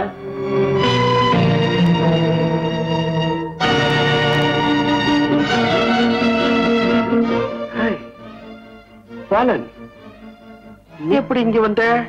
நான் இங்கதான் டிரைவரா வேலை பார்க்கிறேன். கழுத தேஞ்சு கட்டெரும்பாய் போச்சோ? ஆமா நீ எங்க வந்த? இது என்ன பணம்? நமக்குள்ள ஏற்பட்ட போட்டோ வியாபாரத்துல ஏழாயிரம் ரூபாய் கொடுத்துட்டு எட்டாயிரம் ரூபாய் கொடுக்காம நீ ஜெயிலுக்கு போயிட்டேன் அதே போட்டோவை வச்சு கல்பனாவை விரட்டி ஒரு லட்சம் ரூபாய்க்கு மேல பேசிருக்கிற இன்ஸ்டால்மெண்ட் கலெக்ஷன் வாங்கிட்டு போறீங்க. என்ன பத்தி உனக்கு தெரியும் உன்னை பத்தி எனக்கு தெரியும். ஆனா உன்னை விட நான் யோக்கியன். இந்த பார் என்னுடைய தொழில நீ தலையிட்ட உன் லைஃபே க்ளோஸ் பி கேர்ஃபுல் என்ன பணம் வச்சிருக்க பாக்கெட்ல ஹலோ me.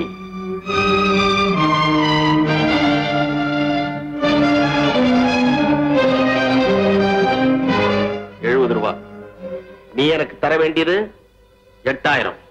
எழுபது ரூபாய் போக ஏழாயிரத்தி தொள்ளாயிரத்தி முப்பது ரூபாய் நீ தரணும்.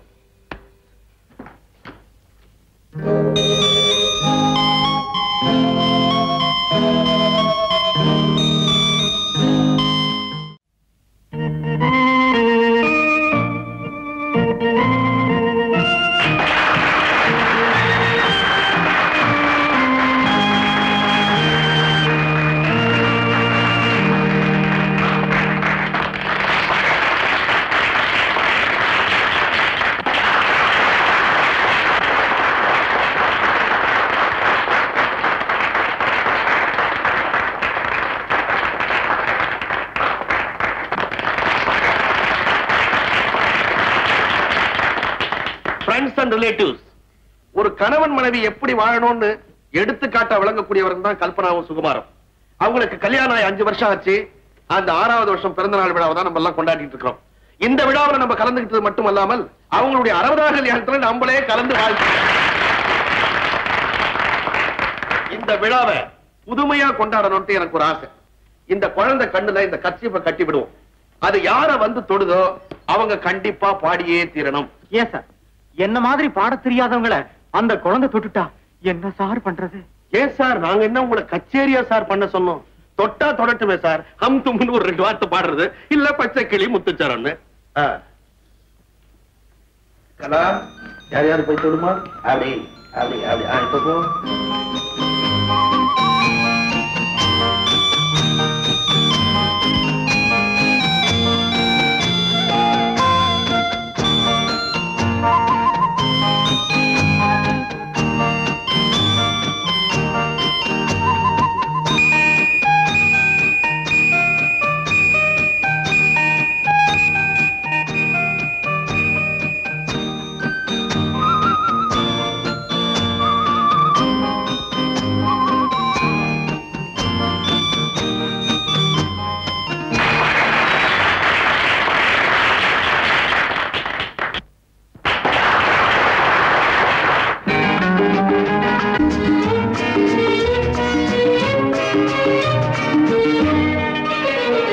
சம்சாரம் என்பது வீணை சந்தோஷம் என்பது ராகம். சலனங்களதில் இல்லை மனம் குணம் ஒன்றான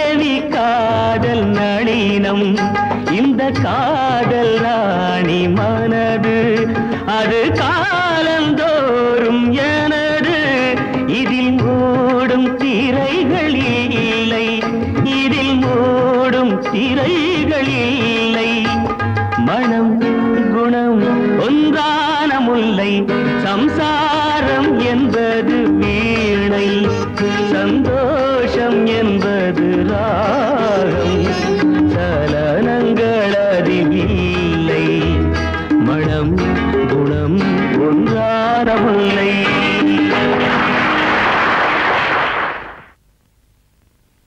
கல்பனா.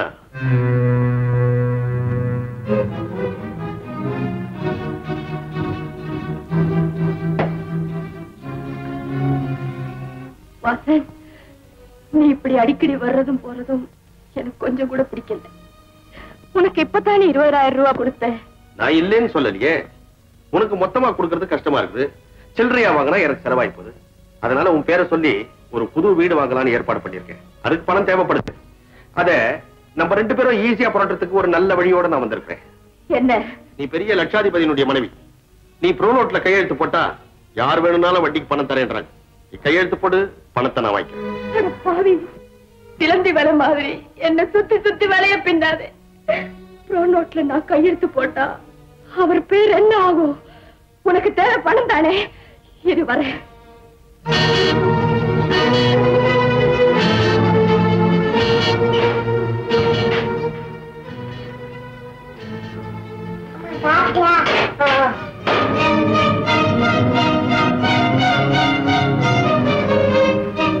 இந்தா, இன்னும் உனக்கு இருபத்தையாயிரம் தான் பாக்கி கொடுக்கணும்.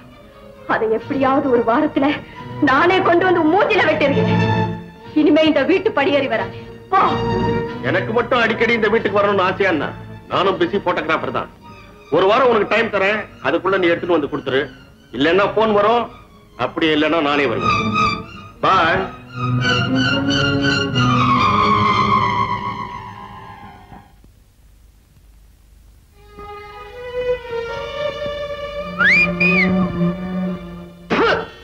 இந்த மாதிரி சம்பாதிச்சு சாப்பிடுறத விட பிச்சை எடுத்து சாப்பிடலாம். டேய் பாலன் என்னுடைய பொறுமையை நீ ரொம்ப சோதிக்கிற? ஜாக்கிரதை. வாசன் இந்த மிரட்டெல்லாம் என்கிட்ட வச்சுக்காத. இந்த பணம் வாங்குற வேலையை இன்னையோட விட்டு மறுபடி கல்பனாவை மிரட்டி பணம் வாங்க நினைச்ச நான் கொலகாரனா மாறிடுவேன். அட மானம் கெட்டவனே. உன்னை மன்னிச்சு நான் விட்டதுக்கு என்னையே மிரட்டி பாக்குறியா இந்த வீட்டுல நீ ஏன் டிரைவர் வேஷம் போட்டிருக்கிறேன்னு எனக்கு நல்லா தெரியும்டா. கல்பனா கிட்ட வச்சிருந்த உறவை புதுப்பிக்க.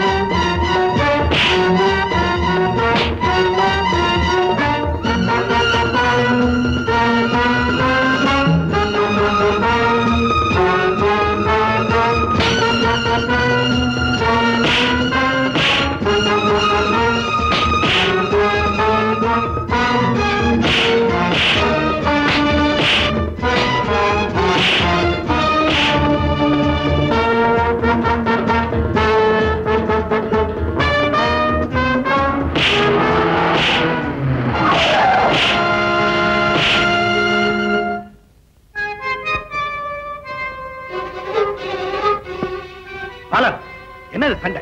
சுகுமார் இருந்தாலும் இந்த பாலனுக்கு இவ்வளவு திமிர் கூடாது இவன் எவ்வளவு பெரிய தப்பு பண்ணிருக்கான் தெரியுமா? இவனை சாதாரண ஆளுன்னு நினைக்காதீங்க. பெரிய ஸ்மக்லர். நீ எப்படா ஜெயில இருந்து வந்த? உங்க அப்பா எப்படா ஜெயில இருந்து வர போறாருன்னு கேட்டேன். தப்பா சார்? சார் மிஸ்டர் வாசன் என்னை பத்தி என்ன சொல்லியிருந்தாலும் நான் பொறுத்துட்டு இருப்பேன் ஆனா எங்க அப்பா பத்தி இன்சல்ட் பண்ணதா என்னால பொறுக்க முடியல. பாலன் அப்படியே அவர் கேட்டிருந்தாலும் நீ கை நீட்டி இருக்க கூடாது. வாசன் எங்க வீட்டுல இப்படி ஒரு சம்பவம் நடந்ததுக்காக நான் ரொம்ப வருத்தப்படுறேன். வாங்க ரெஸ்ட் எடுத்துட்டு போலாம்.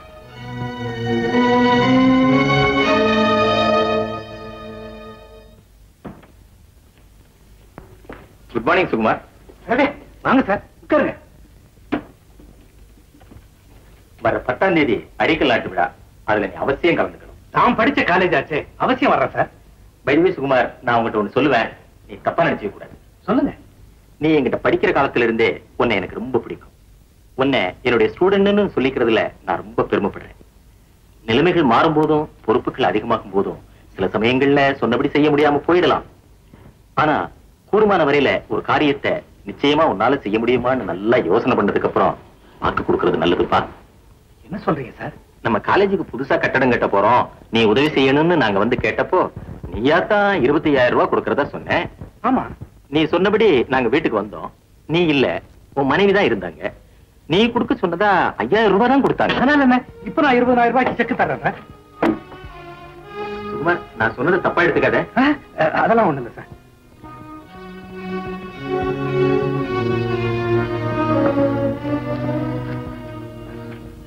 ரொம்ப தேங்க்ஸ் சுகுமார் நாங்க வரட்டுமா? சம்சாரம் என்பது வீணை சந்தோஷம் என்பது ராகம். சலனங்களதில் இல்லை. மனம் குணம் ஒன்றான முல்லை என்னங்க உங்களுக்கு அவியல் ரொம்ப பிடிக்குமே? ஏன் அப்படியே வச்சுட்டீங்க? அவியல் பாதி வந்திருக்கு பாதி வேகலை. கல்பனா பொண்டாட்டிக்கு புருஷன் மேல எப்ப பிரியம் அதிகமா இருக்கு எப்ப குறைச்சலா இருக்குங்கிறத காட்டுற மீட்டர் தான் சமையல். அவியல் சரியா வேகலைங்கிறதுக்காக நான் அதை சொல்லல. கூட்டுல உப்பு இல்ல சாம்பார்ல காரம் ஜாஸ்தி. ஆக வர வர என் மேல உனக்கு பிரியம்.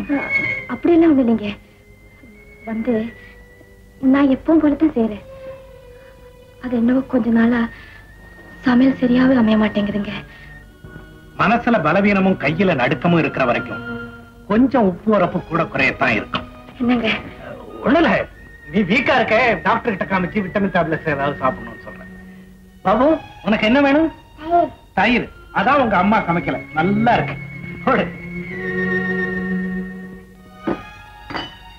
வந்து மத்தியானம் அப்பா வந்திருந்தாரு. அப்படியா? எனக்கு போன் பண்ணிட்டு தான் நான் வந்திருப்பேனே. நான் சொன்னேன். ஆ. அவர்தான் வேண்டாம் உடனே போகணும்னு சொல்லிட்டாரு. ஆமா பாபு. ஸ்கூலுக்கு போனதுக்கு அப்புறம் வந்துட்டு போனாரு. என்னங்க அப்பா அவசர வேலையா வந்தாரா? ஏதோ பண கஷ்டமா? ஒரு இருபத்தையாயிரம் ரூபாய் இருந்தா கூட. அடுத்த தடவை வரும்போது தரேன்னு சொன்னாரு. கொடுத்துட்டேன். அதனால? பரவாயில்ல. அன்னைக்கு நீங்க கொடுத்த பணத்துல இருபத்தையாயிரம் ரூபாய் என் ப்ரொஃபசர் கொடுத்துட்டேன்.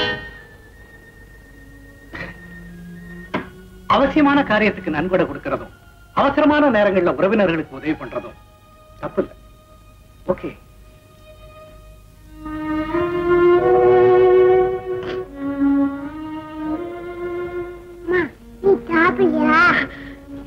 பசி இல்லடா இல்ல பாபு. எனக்கு என்னையே பிடிக்கலடா. எனக்கு என்னையே பிடிக்கலடா. ஐயா வாங்க வாங்க. ஐயா மாப்பிள்ளையா வந்திருக்காங்க. மாப்பிள்ளை வாங்க வாங்க வாங்க. கற்பனை வரலையா? வரல. ஒரு பிசினஸ் விஷயமா அந்த ஊருக்கு வந்தேன். அப்படியே உட்காருங்க. வியாபாரம் எல்லாம் எப்படி இருக்கு? நல்லபடியா இருக்கு. ஒரு முக்கியமான விஷயம் உங்ககிட்ட பேசணும். தப்பா எடுத்துக்க மாட்டீங்களே? சொல்லுங்க. ஊர்ல ஒரு வதந்தி. ஊர்னா நாலு வதந்தி இருக்கத்தான் செய்யும். இருக்கலாம். அது நம்ம பத்தி இருந்தா கவனிக்கணும் இல்லையா? நிச்சயமா. உங்களுக்கு ஏதோ தொழில்ல நெருக்கடின்னு கேள்விப்பட்டேன். அப்படி ஏதாவது இருந்தா தாராளமா நீங்க என்கிட்ட சொல்லலாம். என்னால முடிஞ்ச பண உதவியை செய்யறேன் யார் மாப்பிள்ள உங்ககிட்ட அப்படி சொன்னது? ஃபாரின் எக்ஸ்போர்ட் பிசினஸ்ல மூணு லட்சம் ரூபாய் லாபம். காஃபி எஸ்டேட்ல மூணு லட்சம் ரூபாய் லாபம். ஸ்பேர் பார்ட் பிசினஸ்ல ரெண்டு லட்சம் ரூபாய் லாபம். வியாபாரத்துல எனக்கு பண கஷ்டமே இல்ல மாப்பிள்ள. சாரி மாமா. யாரோ சொன்ன வதந்தியை வச்சுக்கிட்டு நான் உங்களை அப்படி கேட்டேன். அதனால என்ன மாப்பிள்ள? கேள்விப்பட்டதை கேட்டீங்க. அவ்வளவுதானே? வாங்க போய் சாப்பிடலாம்.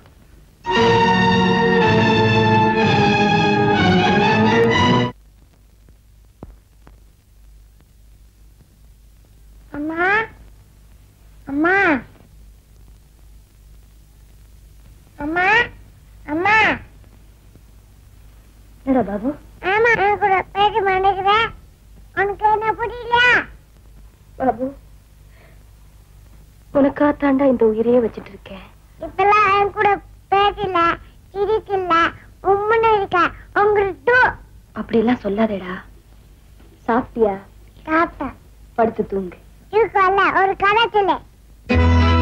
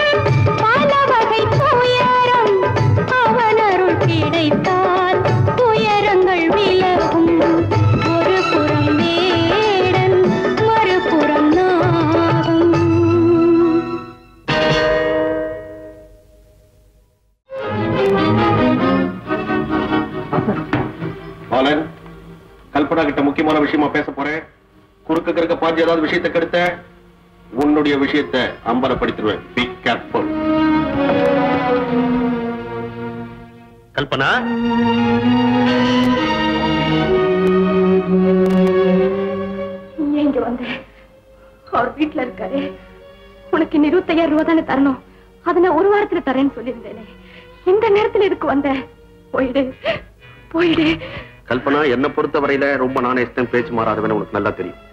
வீடு ஒண்ணு லட்சம் ரூபாய்க்கு விலைக்கு பேசி வச்சிருந்தேன். ரிஜிஸ்ட்ரேஷன் பீரியட்ல மேற்கொண்டு ஐம்பதாயிரம் ரூபாய் வேணும்னு கேட்டுட்டான். அதனால கல்பனா இப்ப நீ எனக்கு எழுபத்தி ஐயாயிரம் ரூபாய் தரணும். ஆமா. உடனடியா பணத்தை கொடு. அப்படி இல்லைன்னா இந்த ப்ரோ நோட்ல கையெழுத்து போடு நீ எதுக்காக இவ்வளவு கஷ்டப்படணும் கண்ணீர் வடிக்கணும்? முன்னர் ஷார்ட் ரூட் உனக்கு சொல்றேன். இந்த போட்டோவை உடனடியா உன் புருஷன் கிட்ட காட்டுறேன்.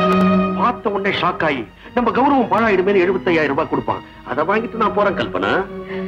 இப்படியே இருக்கும் இல்லாம பேசுறியே. நீ ஒரு மனுஷனா? அன்னைக்கே நான் செத்து தொலைஞ்சிருப்பேன். இன்னைக்கு கூட நான் சாத்தேன் ஆனா என் புருஷனோட மானம் குடும்ப கௌரவம் என் குழந்தையோட எதிர்காலம் இதெல்லாம் யோசிச்சுதான் நான் உனக்கு பணம் கொடுத்தேன்.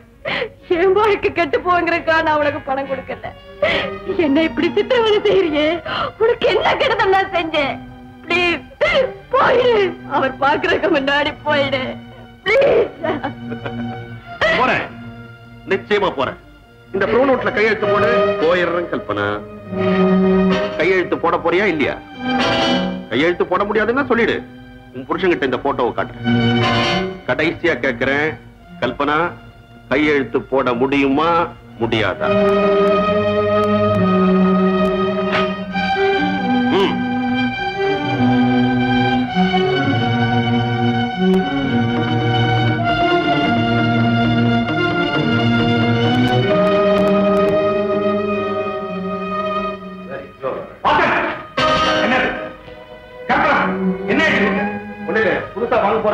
வீட்டு பத்திரத்தை வேலையும் கல்பனா கிட்ட காட்டி வர சொல்லிச்சு அதனாலதான்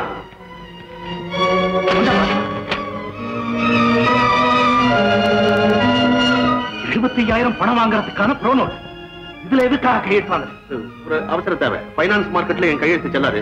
அதனால அந்த மாதிரி என் பொண்டாட்டி கையெழுத்து போட்டு நீ பணம் வாங்குறது என்ன நியாயம்? என்ன காரணம்? ஒய்ஃபே கலந்து சார்.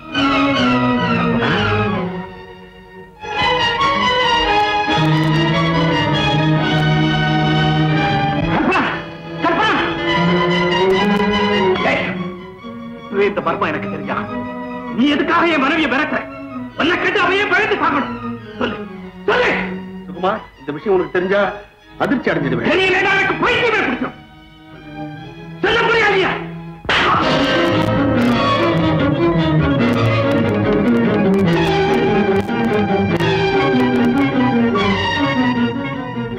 சுகுமார் படமா பார். சார் இந்த போட்டோ நீங்க பார்க்க வேணாம் சார் ப்ளீஸ் தயவு செஞ்சு பார்க்க வேணாம் sir please please please please please please please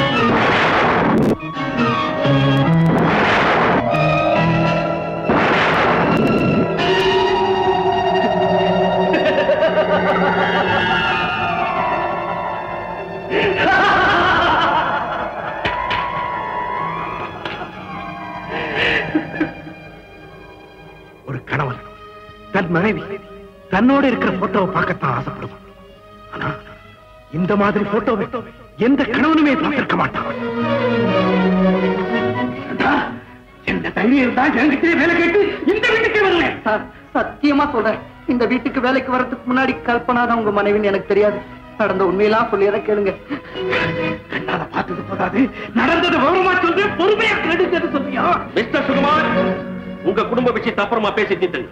இப்ப எனக்கு 75000 ரூபாய் கொடுத்தா இந்த போட்டோவை நகர்த்தி உங்ககிட்ட கொடுத்துட்டு நான் புறப்படுவேன். இத வர. அவன் மானஸ் தண்டா. பணம் கொண்டு வரதுக்காக போயிருக்கான் யாரும் இந்த இடத்தை விட்டு நகரக்கூடாது. இந்த ரகசியம் தெரிஞ்சு யாரும் இந்த உலகத்துல உயிரோடு இருக்கக்கூடாது. சார் சுட்டாதீங்க ப்ளீஸ் சுட்டாதீங்க ப்ளீஸ் ஐயோ வாங்கின பணத்தை ஒண்ணா திருப்பி கொடுத்துறேன் பெரிய இடத்துல வாழ்க்கப்பட்டிருக்காரு கரெக்டா பணம் கிடைக்கும்னு நினைச்சேன். ஐயோ!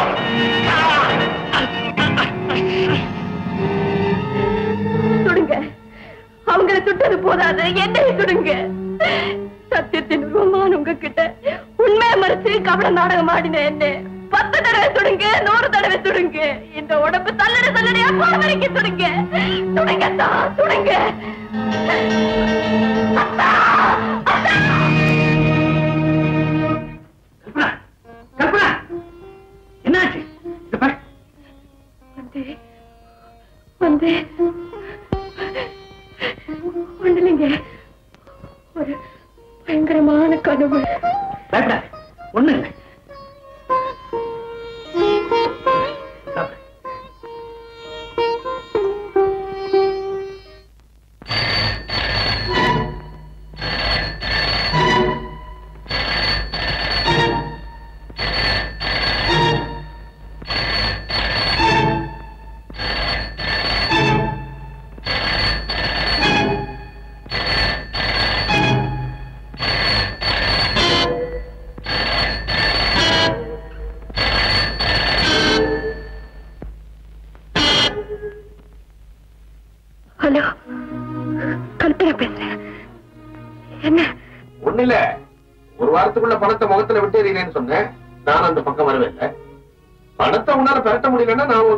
சொல்றேன். திருச்சியில உங்க அப்பா பெரிய பணக்காரராமே.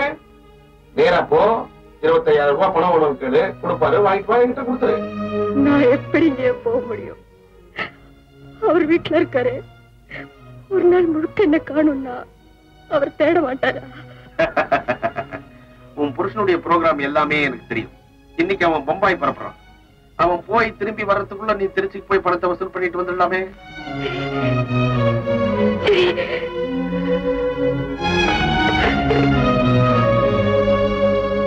கல்பனா நான் அவசரமா பாம்பே போறேன். ஆமா ட்ரங்க் கால் வந்தது. இன்னைக்கு போயிட்டு நாளைக்கு நைட்டு தான் திரும்புவேன். வரேன்.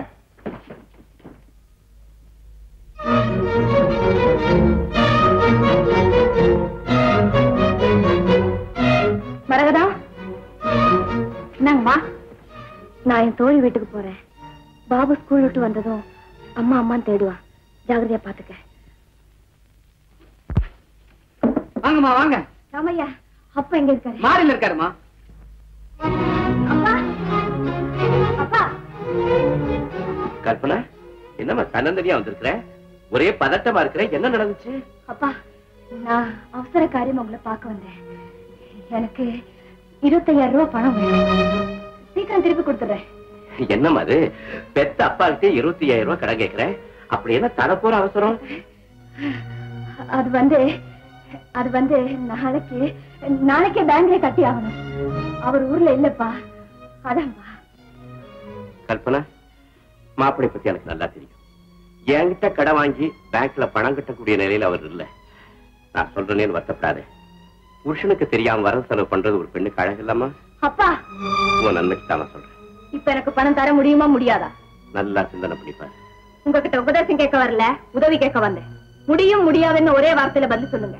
நீ எதுக்காக பணம் கேட்கிறேன்னு சொல்லி அந்த காரணம் எனக்கு சரியா பட்டா இருபத்தி ஐயாயிரம் நம்ம இருபத்தஞ்சு லட்சம். வரேன்ப்பா.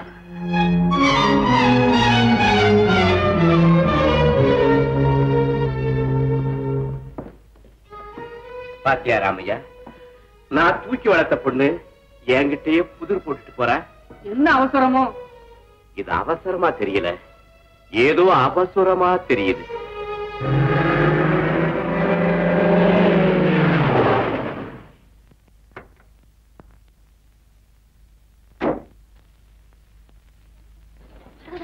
அவர் வந்துட்டாரு? வந்துட்டாரு. போன காரியம் முடிஞ்சதுன்னா அடுத்த பிளைன்லயே வந்துட்டாரு. என்ன கேட்டாரு? கேட்டாரு. தோழி வீட்டுக்கு போயிருக்கீங்கன்னு சொன்னேன். பாபு இந்த சாக்லேட் நான் கேட்கறதுக்கு டான் டான்னு பதில் சொல்லணும். அப்பதான் இன்னொரு சாக்லேட் தருவேன். நான் இல்லாத போது நம்ம வீட்டுக்கு யார் யார் வருவா? அப்புறம்? அப்புறம்? வாசன் எதுக்கு வந்தாரு? முன்னாலே பாட கொடுக்க அப்புறம்? அம்மா பாது மாவுக்கு பணம் கொடுத்தாங்க எவ்வளவு பணம்? கட்டு கட்டா.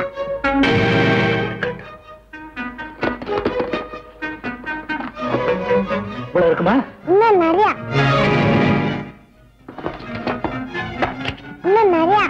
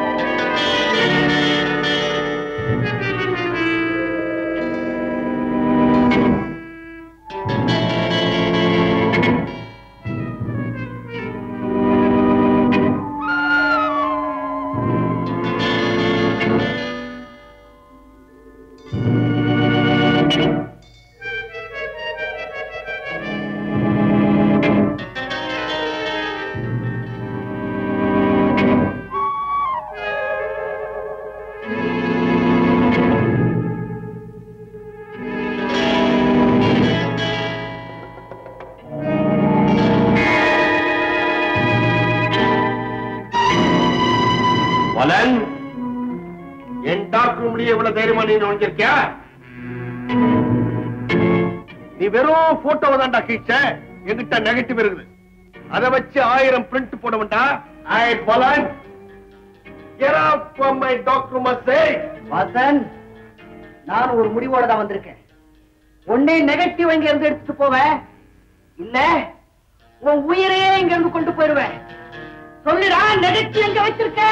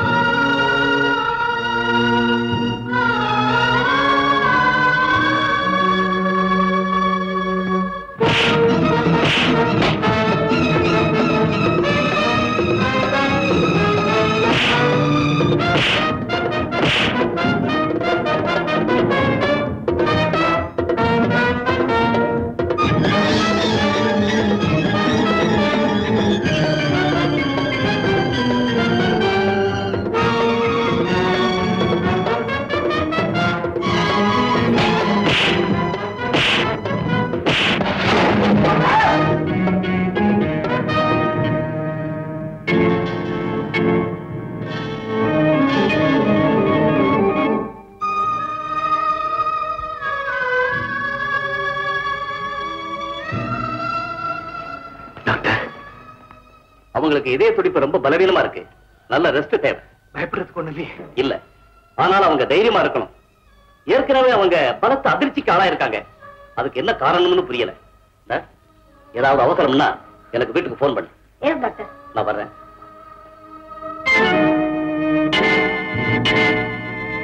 ஏய்,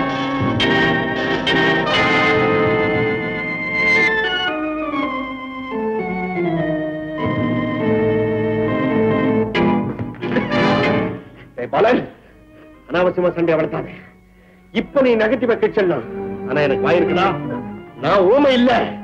அடே நீயும் கல்பனாவை நடத்தும் நாடகத்தை பத்தி சுகுமார் கிட்ட சொன்னா நம்ப மாட்டானா? இல்ல கல்பனா அப்படி நடக்கலன்னு வாதிக்க முடியுமா? போட்டோவை வச்சு போய்ச்சிட்டு இருந்தனா வாழ்க்கைய வச்சு பிழைக்க முடியாதாடா? கல்பனாவுக்கு நல்லது செய்யறதா நினைச்சு அவளுக்கு தீங்கு செய்யறாடா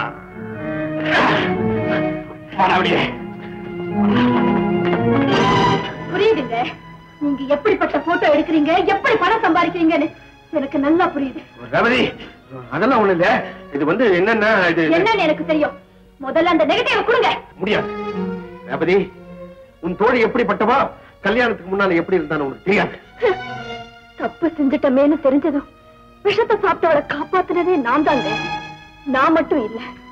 கல்பனா புருஷன் சுகுமாரோட அக்காதான் எங்க ஹாஸ்டல் டாக்டர் அவங்கதான் அவளுக்கு உயிர் பிச்சை கொடுத்தாங்க. தன் தம்பிக்கே அவளை கல்யாணம் செஞ்சு வச்சு அவளுக்கு மறுவாழ்வும் கொடுத்தாங்க. தவறான வழியில போய் தடிக்க விழுந்து உயிருக்கு போராடிக்கிட்டு இருந்த கல்பனாவை கைதூக்கி காப்பாத்தின தியாக உள்ளங்க அது தடிக்க விழுந்தவ எப்ப சாவா? அவளை எப்ப குத்திட்டீங்களாங்கிற கழுகு மாதிரி நீங்க நடந்துகிட்டீங்களே? ரேவதி நான் உன்னுடைய புருஷன். அப்படி சொல்லிக்க நேத்து வரைக்கும் நான் பெருமைப்பட்டேன். இன்னைக்கு வெக்கப்படுறேன் ரேவதி நீ ரொம்ப அதிகமா பேசுற. இந்த உலகத்தை பத்தி நீ இன்னும் புரிஞ்சுக்கல சந்தர்ப்பம் கிடைக்கிறப்பதான் சம்பாதிக்க முடியும். அப்பதான் பொண்டாட்டி புள்ள குட்டிகளை காப்பாத்த முடியும். அனாவசியமா என்னுடைய தொழில நீ தலையிடாதே. ச்சே! இத தொழில்னு சொல்லிக்க உங்களுக்கு வெக்கமா இல்ல? தன் குடும்பத்தை காப்பாத்துறதுக்காகத்தான் விபச்சாரம் செய்யறேன்னு சொல்ற ஒரு விபச்சாரிக்கும் உங்களுக்கு என்னங்க வித்தியாசம்? என்ன அடிங்க கொல்லுங்க. அந்த உரிமை உங்களுக்கு உண்டு ஆனா என் தோழியோட வாழ்க்கையை கெடுத்து எனக்கும் என் குழந்தைக்கு சோறு போட வேணாங்க. இப்பவே அந்த நெகட்டிவ்களை என் கண் முன்னால அழிச்சிடுங்க. இனிமே இந்த மாதிரி சம்பாதிக்க மாட்டேன்னு எனக்கு சத்தியம் பண்ணி கொடுங்க. முடியாது. வீடு தேடி வந்த இந்த சீதேவியை நான் அழிக்க முடியாது. முடிவா கேக்குறேன் நானும் முடிவாக சொல்றேன். அட பாவி! அமைதியா நடந்த வாழ்க்கையில புயல் அடிக்க வச்சிட்டியாடா? உன் குடும்பத்துல ஒரு தடவை புயல் அடிச்சதுக்கே இவ்வளவு ஆத்திரப்படுறியே. மத்தவங்க குடும்பத்துல எத்தனை தடவைடா புயலை உருவாக்கி இருக்கிற நாலு பேர் வயிறறிய வாழ்றதை விட சாகிறத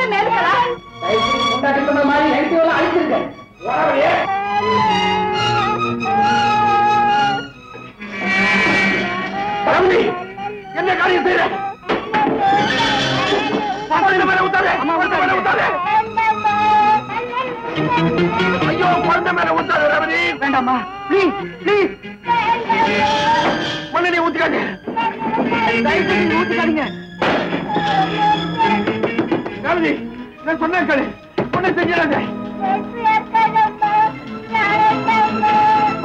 அம்மா கதவு தருங்க கதவு தருங்க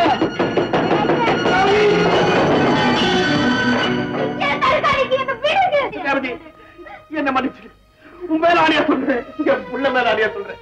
நீங்க ரெண்டு பேரும் நல்லா வாழணுன்றதுக்காக தான் நான் குறுக்கு வழியில சம்பாதிக்க ஆசைப்பட்டேன். நீங்க ரெண்டு பேரும் போயிட்டதுக்கு அப்புறம் எனக்கு ஏதுமா உனக்கு எனக்கு ஏது? இந்த மர்மா உன் கண்ணுக்கு எதிர்க்கவே நெகட்டிவ் நான் கொடுத்துருமா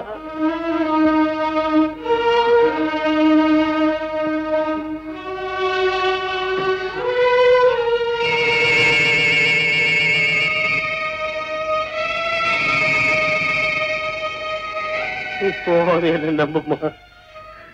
என்ன நம்பு. ரொம்ப நன்றிங்க. ரொம்ப நன்றி. நான் வந்த வேலை முடிஞ்சு போச்சு. நான் வரேன். மிஸ்டர் பாலன் இப்பதான் நீங்க யாருன்னு எனக்கு தெரிஞ்சது. நீங்க அந்த வீட்டுல இருக்கிற ஒவ்வொரு நிமிஷமும் கல்பனா நெருப்பு மேல இருக்கிற மாதிரி தவிப்பா. அதனால தயவு செய்து இனிமே அந்த வீட்டுக்கு போகாதீங்க. இந்த நெகட்டிவ்காக தான் இவ்வளவு நாள் நான் இங்க இருந்தேன். அது இப்ப உங்களால எரிஞ்சு போச்சு. கல்பனா நல்லா வாழட்டும். இந்த ஊரை விட்டே போயிடுறேன். ஊரை விட்டே போயிடுறேன்.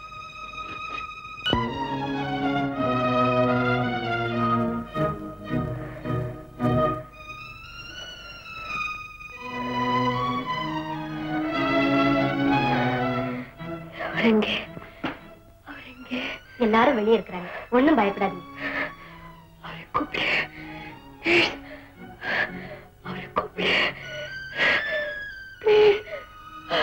அம்மா நீங்க இருக்கிற நிலைமையில அமைதியா இருக்கணும் மனசை குழப்பிக்காதீங்க பிழைக்க மாட்டேன் பிழைக்க விரும்பல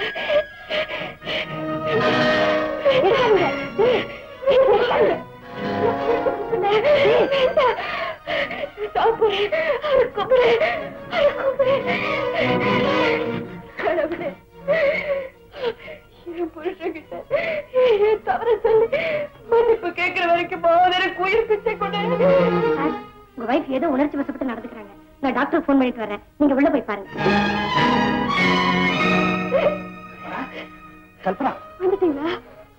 வாங்க. என் பக்கத்துல உட்காருங்க.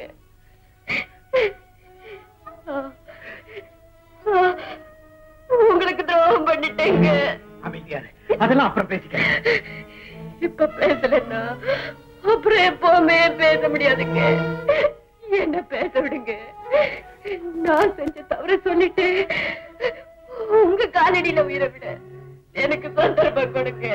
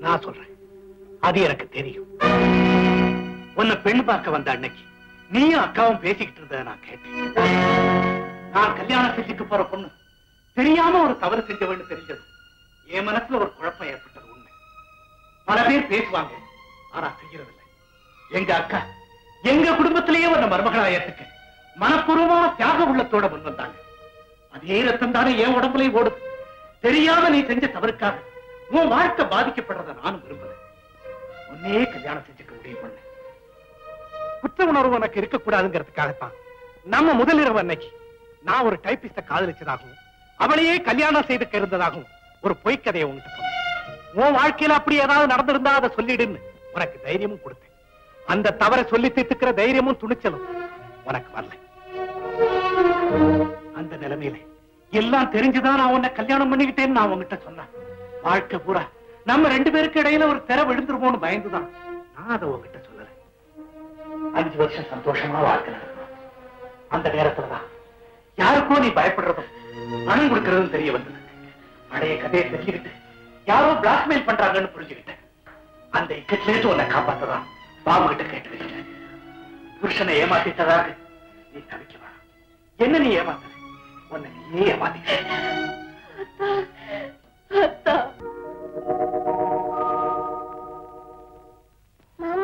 அம்மா கிட்ட பணம் அங்க இருந்தா அம்மாக்கு ஒழுங்கு தெரியல. இந்தா. இந்த காட்டு வச்சுக்கோ பாபு உனக்கு இருக்கிற புத்தி கூட எனக்கு இல்லாம போச்சப்பா. நான் பணம் வாங்க வரலப்பா. வாங்கின பணத்துக்கெல்லாம் மன்னிப்பு கேட்க வந்திருக்கேன்.